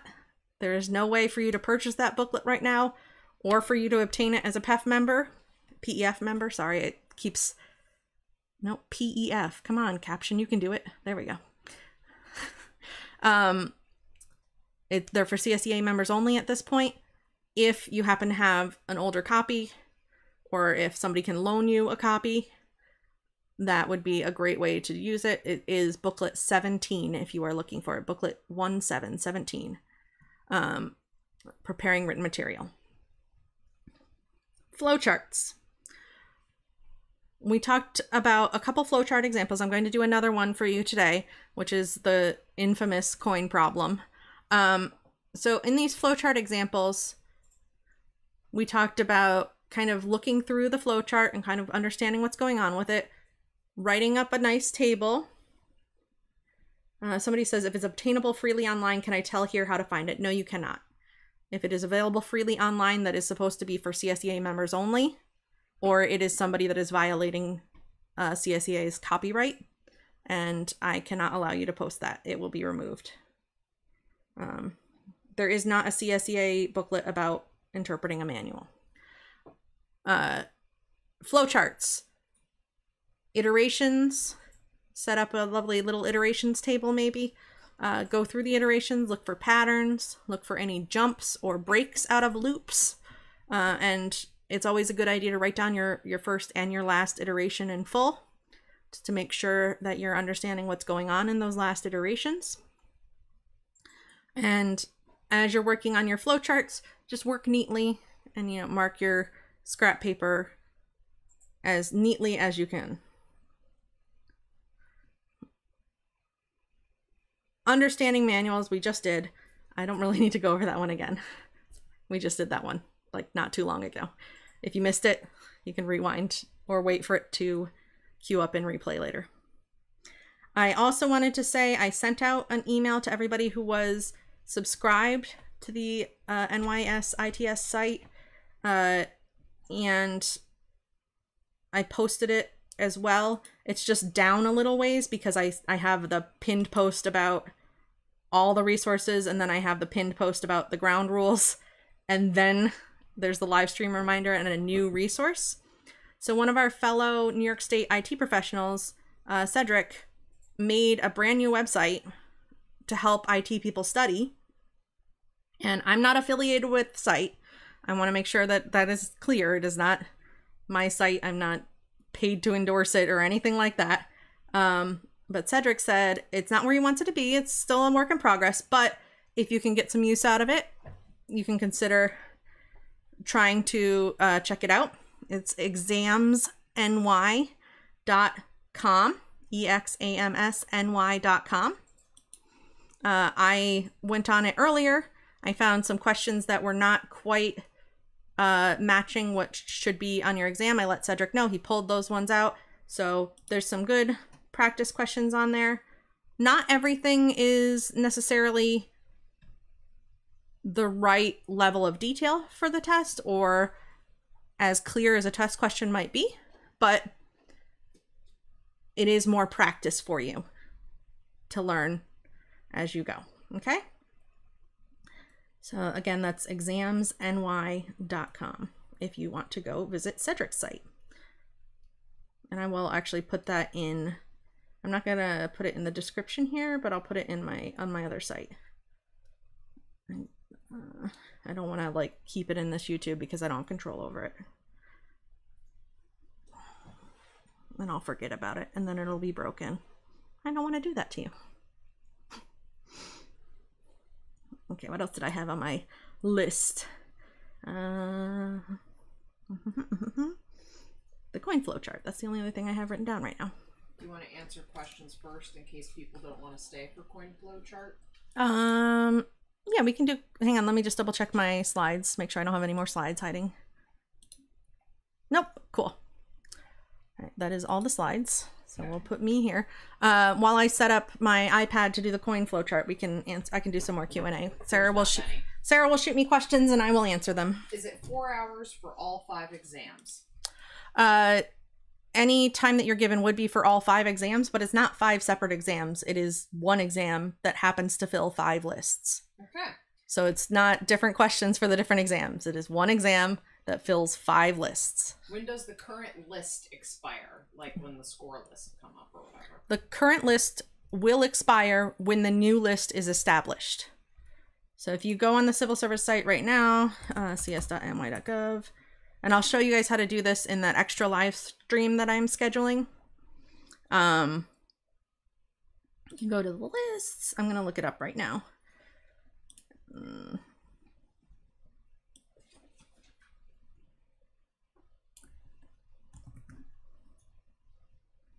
It's going to ask me to log in because I'm looking at my lists apparently.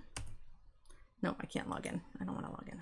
I want just lists by name. There we go. IT specialist three. You'll see if you go, oh, you know what? Let me share this screen. Let me, let me show you guys what I'm doing here. Um, yeah, sure. Why not that one? What's it called? List by name. Okay. So this is what the civil service eligible list look like. This is going to be very brief, a very, very brief introduction to this. So you can get to it by, you go on, well, I'll just show you very briefly, cs.ny.gov. This is the civil service site. And it's apparently cut off a little bit in your screen, but that's okay. You don't need the whole site to see what I'm doing here. Scroll all the way to the bottom. And there's a thing here where it says, you see it says ELMS eligible, eligible lists, ELMS online. So we're going to click where it says ELMS, which brings you to el eligible list management system. And then uh, in this section that says eligible lists here, if you click on the top ones, it's going to make you sign in because those are all ways that you can manage your lists. The bottom ones here, you don't have to sign in for. So I'm just going to click by name. And then I'm going to click I for IT.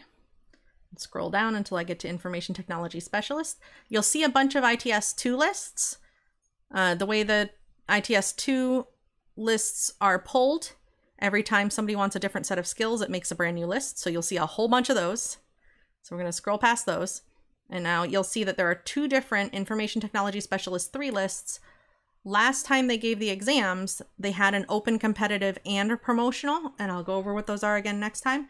But if you uh, if you see here, the first date, let's scroll back up so you can see. The first date is the start date, right here. I can't highlight it. There we go. And then the right-hand date is the end date, but you see it's got a little asterisk, so it's kind of the end date. So when you scroll down to the one that was just administered in 2018, it was administered in 2017. The list didn't come out until 2018. It takes about took us about six months last time to, or more to get the lists. Um, and it was extended until 2026 but that is not when it's going to expire. That would be when it would expire if no tests were given. As soon as the new test is given and the new list is established, this will expire.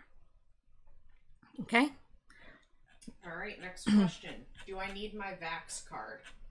Uh, that is a great question. There is a VAX policy. I think I linked it on the NYS ITS site. Let me just double check it.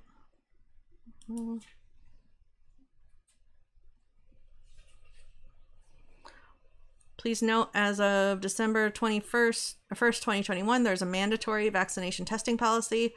You can read more about the policy on the civil service website. So I would recommend going here and reading this because it gives you more information about the policy. Okay. How can you get back onto the grade 18 list if you don't do well on the test? Uh, just you have to keep uh, yourself active on the list. I think you have to once a year go in and like click a button or reapply or something. Um, you just keep yourself active on the list the same way you would. Um, but if you're already in a grade 18 title, do you really need to be on the grade 18 list? I don't think you do. When you are crossed off a list after an interview because you weren't interested in that particular position, how do you put yourself back on the general list? Uh, you should be able to, where I just showed you on that Elms online thing, you should be able to um, see your declinations there and like your current status on lists. It really depends. I'll go over all that stuff in a month when we do the civil service thing. Okay, what are the topics on the exam? Right, for the 400th time. Just kidding. I know some people didn't come in earlier. Going over it one more time. Four topics for you preparing written material, systems analysis, flowcharts, understanding and interpreting a manual. That's it. Four topics. Okay. Uh, do you have formulas for the exam or a link for formulas, math specific formulas? I think I responded to that one in the chat. The math formulas were for tabular reasoning, which is not on the exam anymore for this administration of it anyway. It was on the exam, I think, in 2010 only, maybe. I don't know. It was only for certain types anyway. Okay. So this last one is about flowcharts. In flowcharts, if there is a question mark as opposed to decision yes or no, what should we assume? And they mean actually in the diamond. If there's a question mark as opposed to yes or no. Well, there should always be little arrows going out from the diamond, right? There should be arrows going out from the diamond that have labeled on them which which way is no and which way is yes. If there are no labels on the arrows, I would say that that's probably an awful flowchart that you should probably be able to challenge because there's not enough information to answer. Um, I don't know uh, what the question might be asking other than that though, because all I can think of is if the arrows coming out of the decision diamond weren't labeled, you'd have problems, right? But they should be labeled. If the question is just whether it matters if there's a question mark inside the diamond or not, uh, that doesn't really matter. I mean, you can just assume that the diamond decision point is some sort of a yes, no, true, false. That's standard flowchart convention. So this is the one area where it says right in the description, you must know standard flowchart conventions in the subject of examination description. So that is a flowchart convention that you would need to know that decision diamonds generally have yes, no, true, false sort of answers. So we have one last question in the chat. How do we find the sample questions from the civil service site? Um, I've put them all in the live streams. Uh, all the questions that exist. There aren't many of them. There are literally like three written material questions for each type of written material. And there's the one question about manuals that we did today. That's all that exists on the civil service site right now. If you want to look for yourself, um, let me get the link for you. Mm, give me one second. I will get the link and post it in the chat. But you're more than welcome to look for yourself, but there's nothing else out there. So I'm just gonna clicky click my way through the site the same way I always do to get to it. I have it saved somewhere, but sometimes it's easier for me to just click through.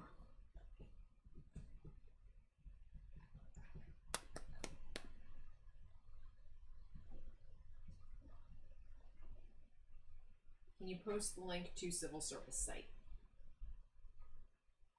It's just cs.ny.gov. Civilservice.ny.gov. cs.ny.gov. Yep, that's civil services website. Boom. Thanks, Sarah. Yeah, no. Um. Oh wait, I know where I put it. I know where I put that link. Hang on.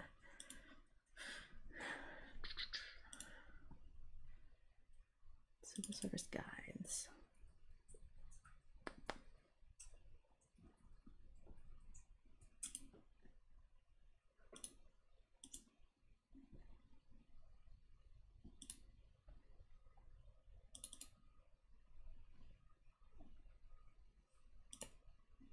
And we are going to go over that coin flowchart problem as well. So if you want to stick around and go over that problem, uh, that is a very hard problem and may may not even be indicative of what you can expect on the test. But sometimes it's good to stretch your brain and have something really hard because then the test will feel easy. Um, yeah, I can't find that site right now. It's a little. Oh, test guides and resource booklets is what I wanted. That's exactly what I wanted. All right, so here is the link to NYS Civil Civil Service Test Guides. There you go. But like I said, there's nothing new there for you. There are literally, out of all the options available and all the different test guides that exist there, I literally looked through every single one of them for any extra questions, and there aren't any. A lot of them have preparing written material, but they're all using the same sample questions about uh, the guy who caused an accident, or no, his failure to take precautions caused an accident or something, and the one about job opportunities for for putting the sentences in order.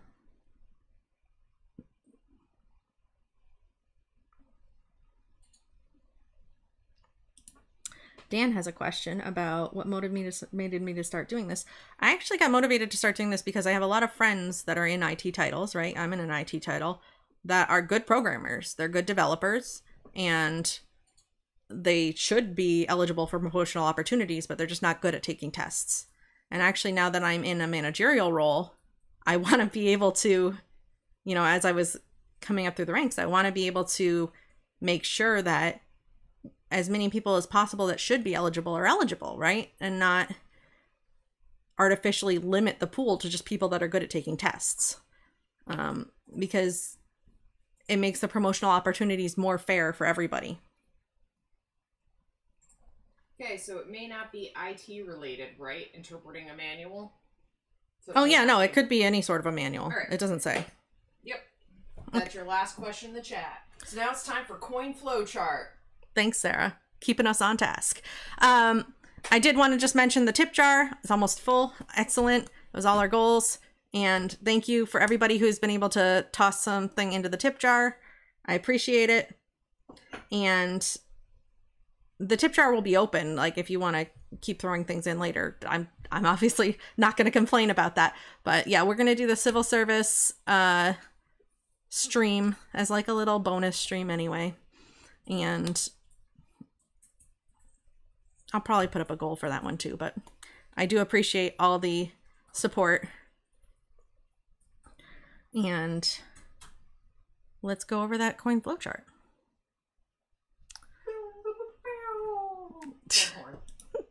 You're in rare form today, dear. I think we had a little too much caffeine here earlier. Never. Never? Okay.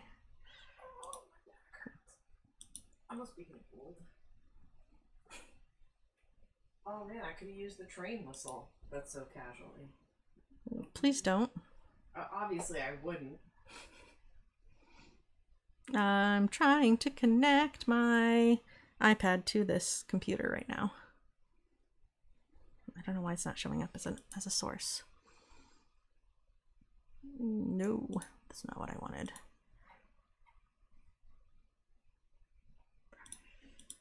Sorry about this, guys. One second. And if anybody wants me to go over any other specific questions, you can ask in the chat and I'll get to them too assuming that it's not something that's going to take forever and that I've already answered. Um, If I've already answered it, then I'm probably not going to answer it again. I'll just refer you to the previous answer.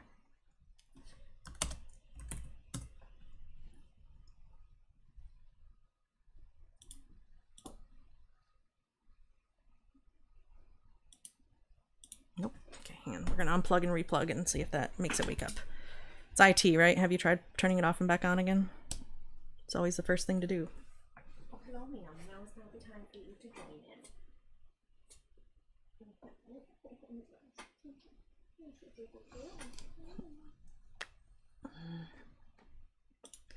If I can't get this one to work, then I am going to do it a different way.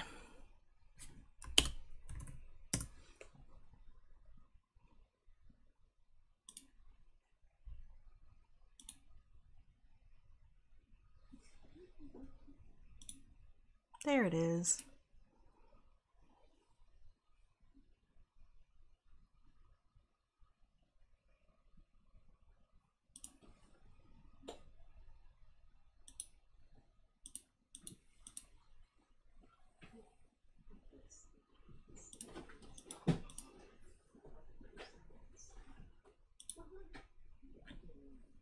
All right. This doesn't really need to. whatever. There's going to be a little record button. Um, but you guys can ignore that little record button. All right, let's choose the correct source here now, which is this one. Yeah, it is. And this is way, way, way too. Why does it think it's 9:41 a.m.? That's weird. Daylight savings time. Saving a lot of time apparently.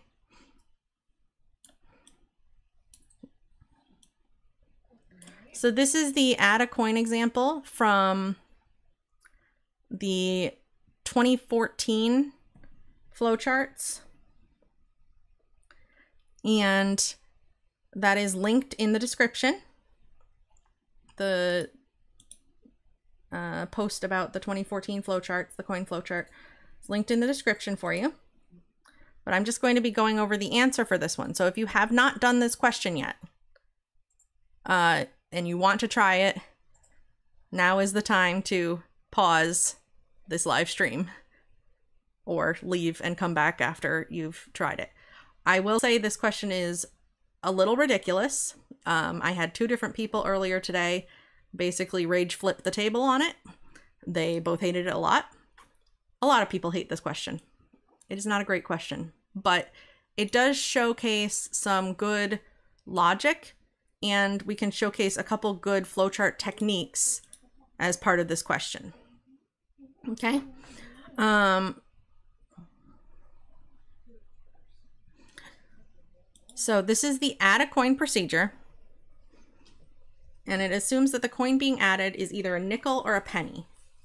Okay, so that's a first assumption. I'm gonna maybe highlight that with a nice big highlighter. Again, I'm gonna be looking down a lot because I'm working on my iPad here. Um, but it's either a nickel or a penny. Uh, somebody earlier today pointed out to me that we should also assume that with the question we're asking at the bottom, uh, here where it says, why is this not updating?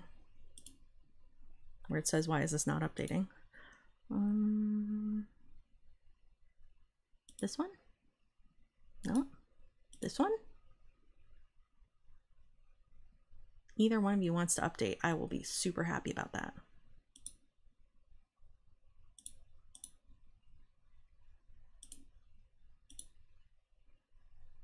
There we go. That's the right one. Um, where it says there are 27 total coins processed. Uh, somebody pointed out to me earlier that we should say there are 27 total coins processed before the flow ends at the stop terminator.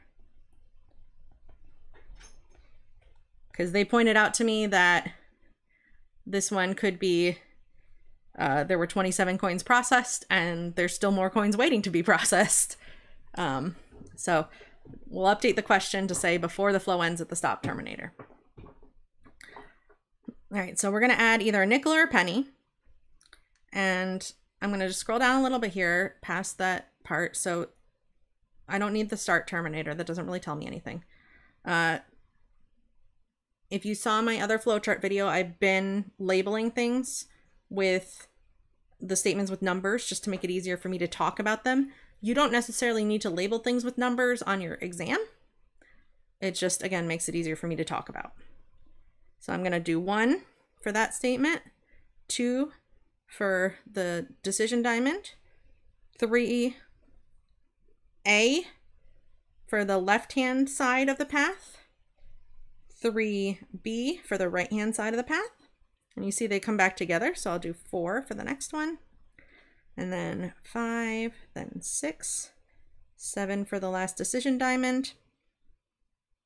And then I'll just label these guys around in a loop here, um, 8, 9, and 10. Okay. So you can see that just looking at this, because I'm going to need to kind of squidge things up a little bit so that I can see more of it on the screen and I want to leave it big enough that if you full screen it on your computer, you should be able to kind of see what I'm doing. I'm going to just scroll up a little bit so that the add a coin goes away. And I'm just going to put a note here, you just so that we remember that it just goes to add a coin.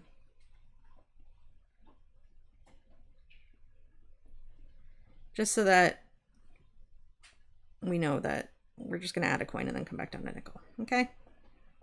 So now I've got the whole flow on here at least. So we have some sort of a process. And every time I put in a coin, the first question that gets asked at statement two here is, is it a nickel? And if it is a nickel, we increment letter B by five and letter C by five. And if it is not a nickel, that means it must be a penny. That was in our instructions, remember? So I'm going to make a note here, know that it's a penny. So we increment A by one and C by one. looking at our variables, I can see that somehow pennies are only affected, or only, uh, letter A is only affected by pennies, and letter B is only affected by nickels. Right? So I know that those variables somehow have something to do with pennies and nickels. Letter C being affected by both of them must be some sort of a total, right? No matter which way I go, letter C gets changed. So C must be some sort of a total. And I'm going to just keep popping coins in this thing until I get C bigger than 100. And once it's bigger than 100, then I go down into my print statements and I, sorry, I just nudged it. I go down to my print statements and I do a weird thing with dividing out B and then uh, doing something with D and coming back around and printing A and B again and stopping. Okay.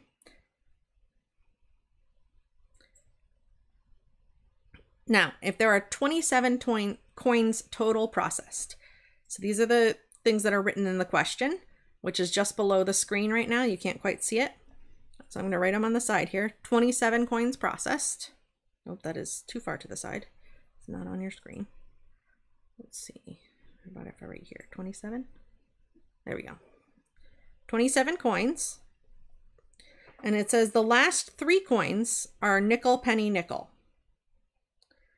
So that means I had 24 coins that I don't know. And then I had nickel, penny, and nickel. And then what does C equal at the end of the flow? So they want to know what this like total thing equals at the end of the flow. And I don't need to worry about it changing because past this line, boop, boop, boop, boop, boop, on that square I just drew, none of that affects letter C, right? So I'm just kind of looking at the top part of this flow. Is there any way you can make it so they can see the whole chart on their screen? Um, the only thing that's not there is the add a coin thing. Okay, they're just asking. Or I mean- asking. See, it says start add a coin. That's the only thing that you can't see right now. Uh, and then what does C equal at the end of the flow? So this is a question that is kind of testing you on a couple things. It's somebody says it seems more like a math question than a flowchart question. You can answer it with algebra. Yeah, you can. Um, it's kind of testing logic a little bit, and it's testing that you can kind of follow this flowchart around and understand more what the flowchart means instead of just blindly following the flowchart. Um, but it is mostly a uh, a thinky sort of a question. Uh, so 27 coins total, right? Here are the bits that matter right now. Um, and somebody asked for the full question. The full question says we processed 27 coins. So total equals 27 coins. That's statement one. Or that's the first part of the question here. The second part of the question says that the last three coins were nickel, penny, nickel. And the third part of the question says value of C at the end. That's what we're looking for. It doesn't give you this part here about the 24 coins nickel, penny, nickel. It just gives you the nickel, penny, nickel. So that's the first logic part is that there must be 24 coins before that nickel, penny, nickel happens, right? That's the first logic part that we're talking about. So the next question is okay, well, I don't know what those 24 coins are.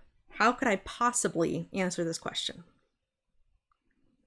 And the way that you go about answering a question like this is you kind of have to just make a guess and go for it and see where that lands you so you can understand what's going on a little bit better.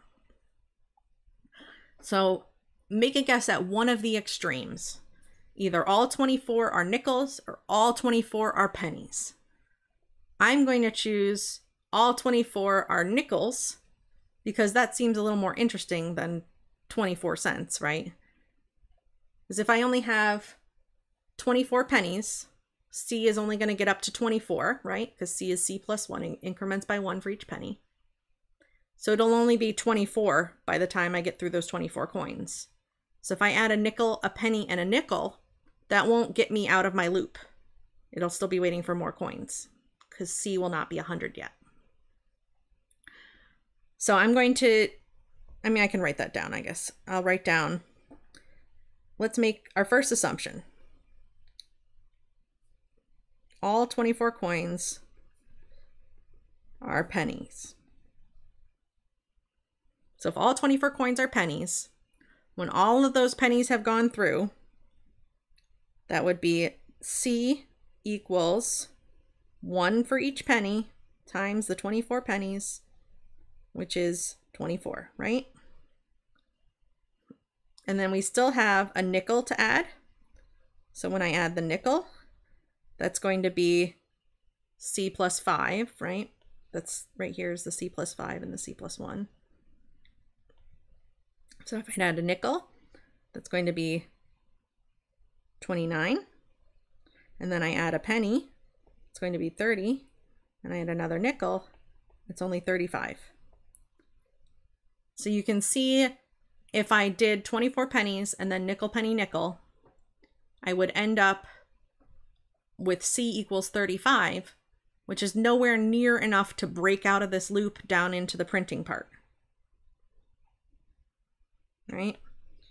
Because we need C to be bigger than 100 to break out of that loop.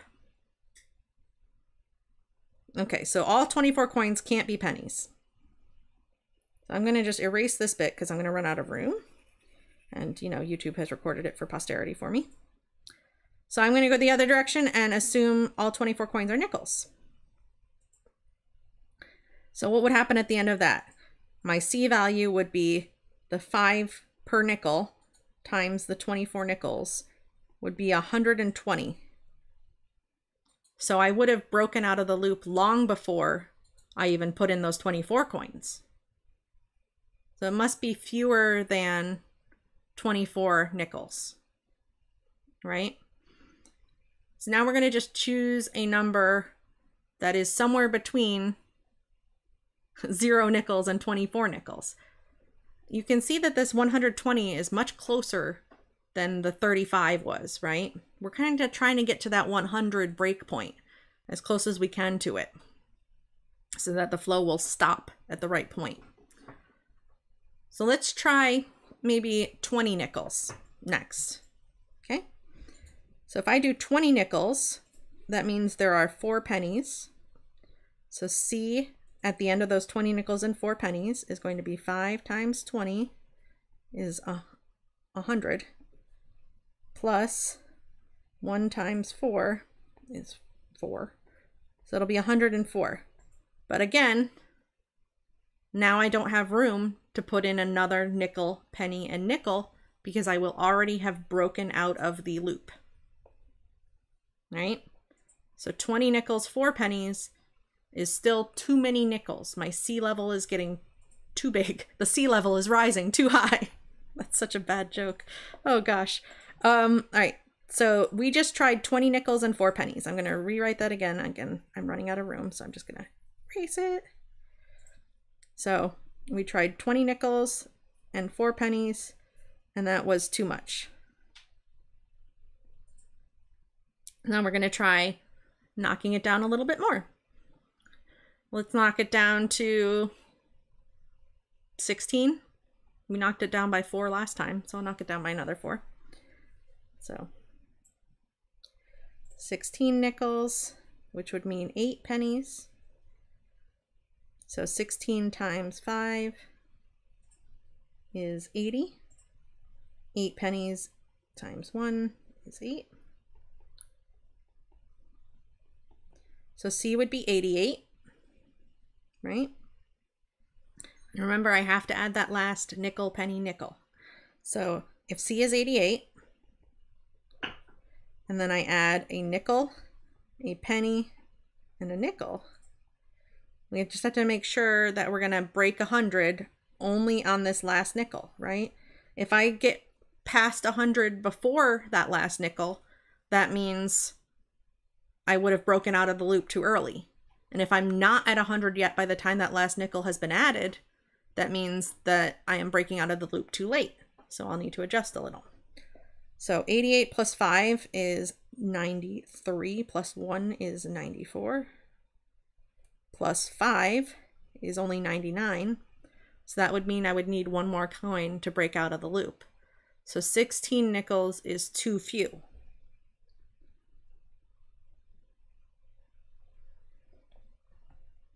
Then I'm just going to try 17 because that's the next one available, right? We were pretty close that time. So 17 nickels, which would be seven pennies.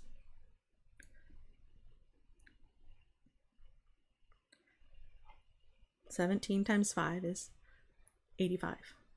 Yes, eighty-five. Seven times one is still seven. So before we do our nickel, penny, nickel, 85 plus 7 is 92. So I'm going to start at 92, and I'm going to add a nickel, a penny, and a nickel. 92 plus 5 is 97. So we're still good. We would still add the penny. 97 plus 1 is 98. So now I need to keep going. We're still good. And then I'd add the nickel, and I'd get to 103. And now when I go to statement four and I evaluate whether C is bigger than 100, oh, I just realized you guys can't see that. There we go. When I get to statement four and I evaluate whether C is bigger than 100, now because it's 103, I will be breaking out of it, the loop. Right? So when I link these two together here, the 103 is what breaks me out of the C is bigger than 100 over there. Okay? So that means that C must equal not 97, not 98, but 103 at the end when it breaks out of that loop. I hope that helps people that were having trouble with the coin problem. If you did not get the coin problem and you don't understand it and you just say, "Oh my god, that is way too much work." Um, please again remember every question is worth the same points. If there's a very easy question, go answer the easy question. Save this one for later. Choose your favorite letter from A to D. Okay? So that is the coin flowchart question. The answer to that is also written out a little bit more briefly in the answers PDF. But that was a very detailed explanation for anybody who needed it. Um, one question from the chat. CSEA book number 4, 13, 12, 14. Should we read those? Uh, please hold and I will look up which ones those are.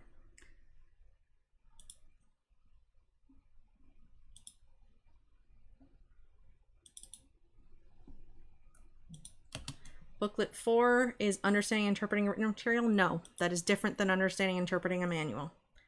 Booklet 13, Educating and Interacting with the Public has nothing to do with your exam. That is not one of your topics. Booklet 12, Evaluating Conclusions in Light of Known Facts. No, that's that's a whole separate topic. It would say literally that if that was one of your subjects, it would say evaluating conclusions in light of known facts. That is what they always put when that's the topic. And number 14. That's the same thing, evaluating conclusions, verbal analysis. No. The only relevant CSEA booklets are 17, which is preparing written material, and 25, which has some flowcharting problems in it.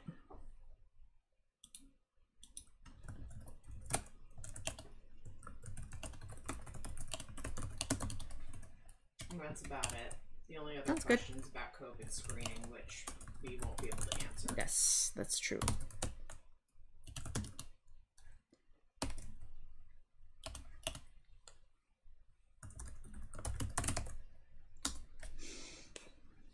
So otherwise, we're all done. Otherwise, we're all done. All right. I will post about the new live stream that I'll set up if anyone wants to do civil service Q&A, post-test Q&A, celebration. Um, I will remind you when we get to that though, you're not allowed to talk about what questions you saw in the test. That is not allowed. You can say what types of prep were maybe more useful for you than others. Um, but you are not allowed to talk about what was on the test. Do you have more examples on interpreting a manual other than the two I did? Uh, I did three. I did do three. I did the CSD, uh, the civil service one about the security guy. Uh, I mean, I didn't do it very well because I forgot to give you the full question, but uh, the civil service one about the security guy and the ones that I made was two different manuals. I have a number of other manuals, like I said, but I have not yet made questions based on them, and making questions is the hard part making sure that I've got a relevant manual that is pretty clear and easy to understand, and uh, making sure that when I post that, that it has the correct answers is also hard to do. So, if I get a chance to try to make some more questions, I might, but please do not count on it before your test next week. All right. So I think it's time to. It's time to skedaddle. Yeah. Happy studying. Rock out. Do awesome on the exam next week. Good luck. and you don't need luck. You got preparation. I mean, they can have good luck too. Okay, you can have luck too. Thank you, everybody.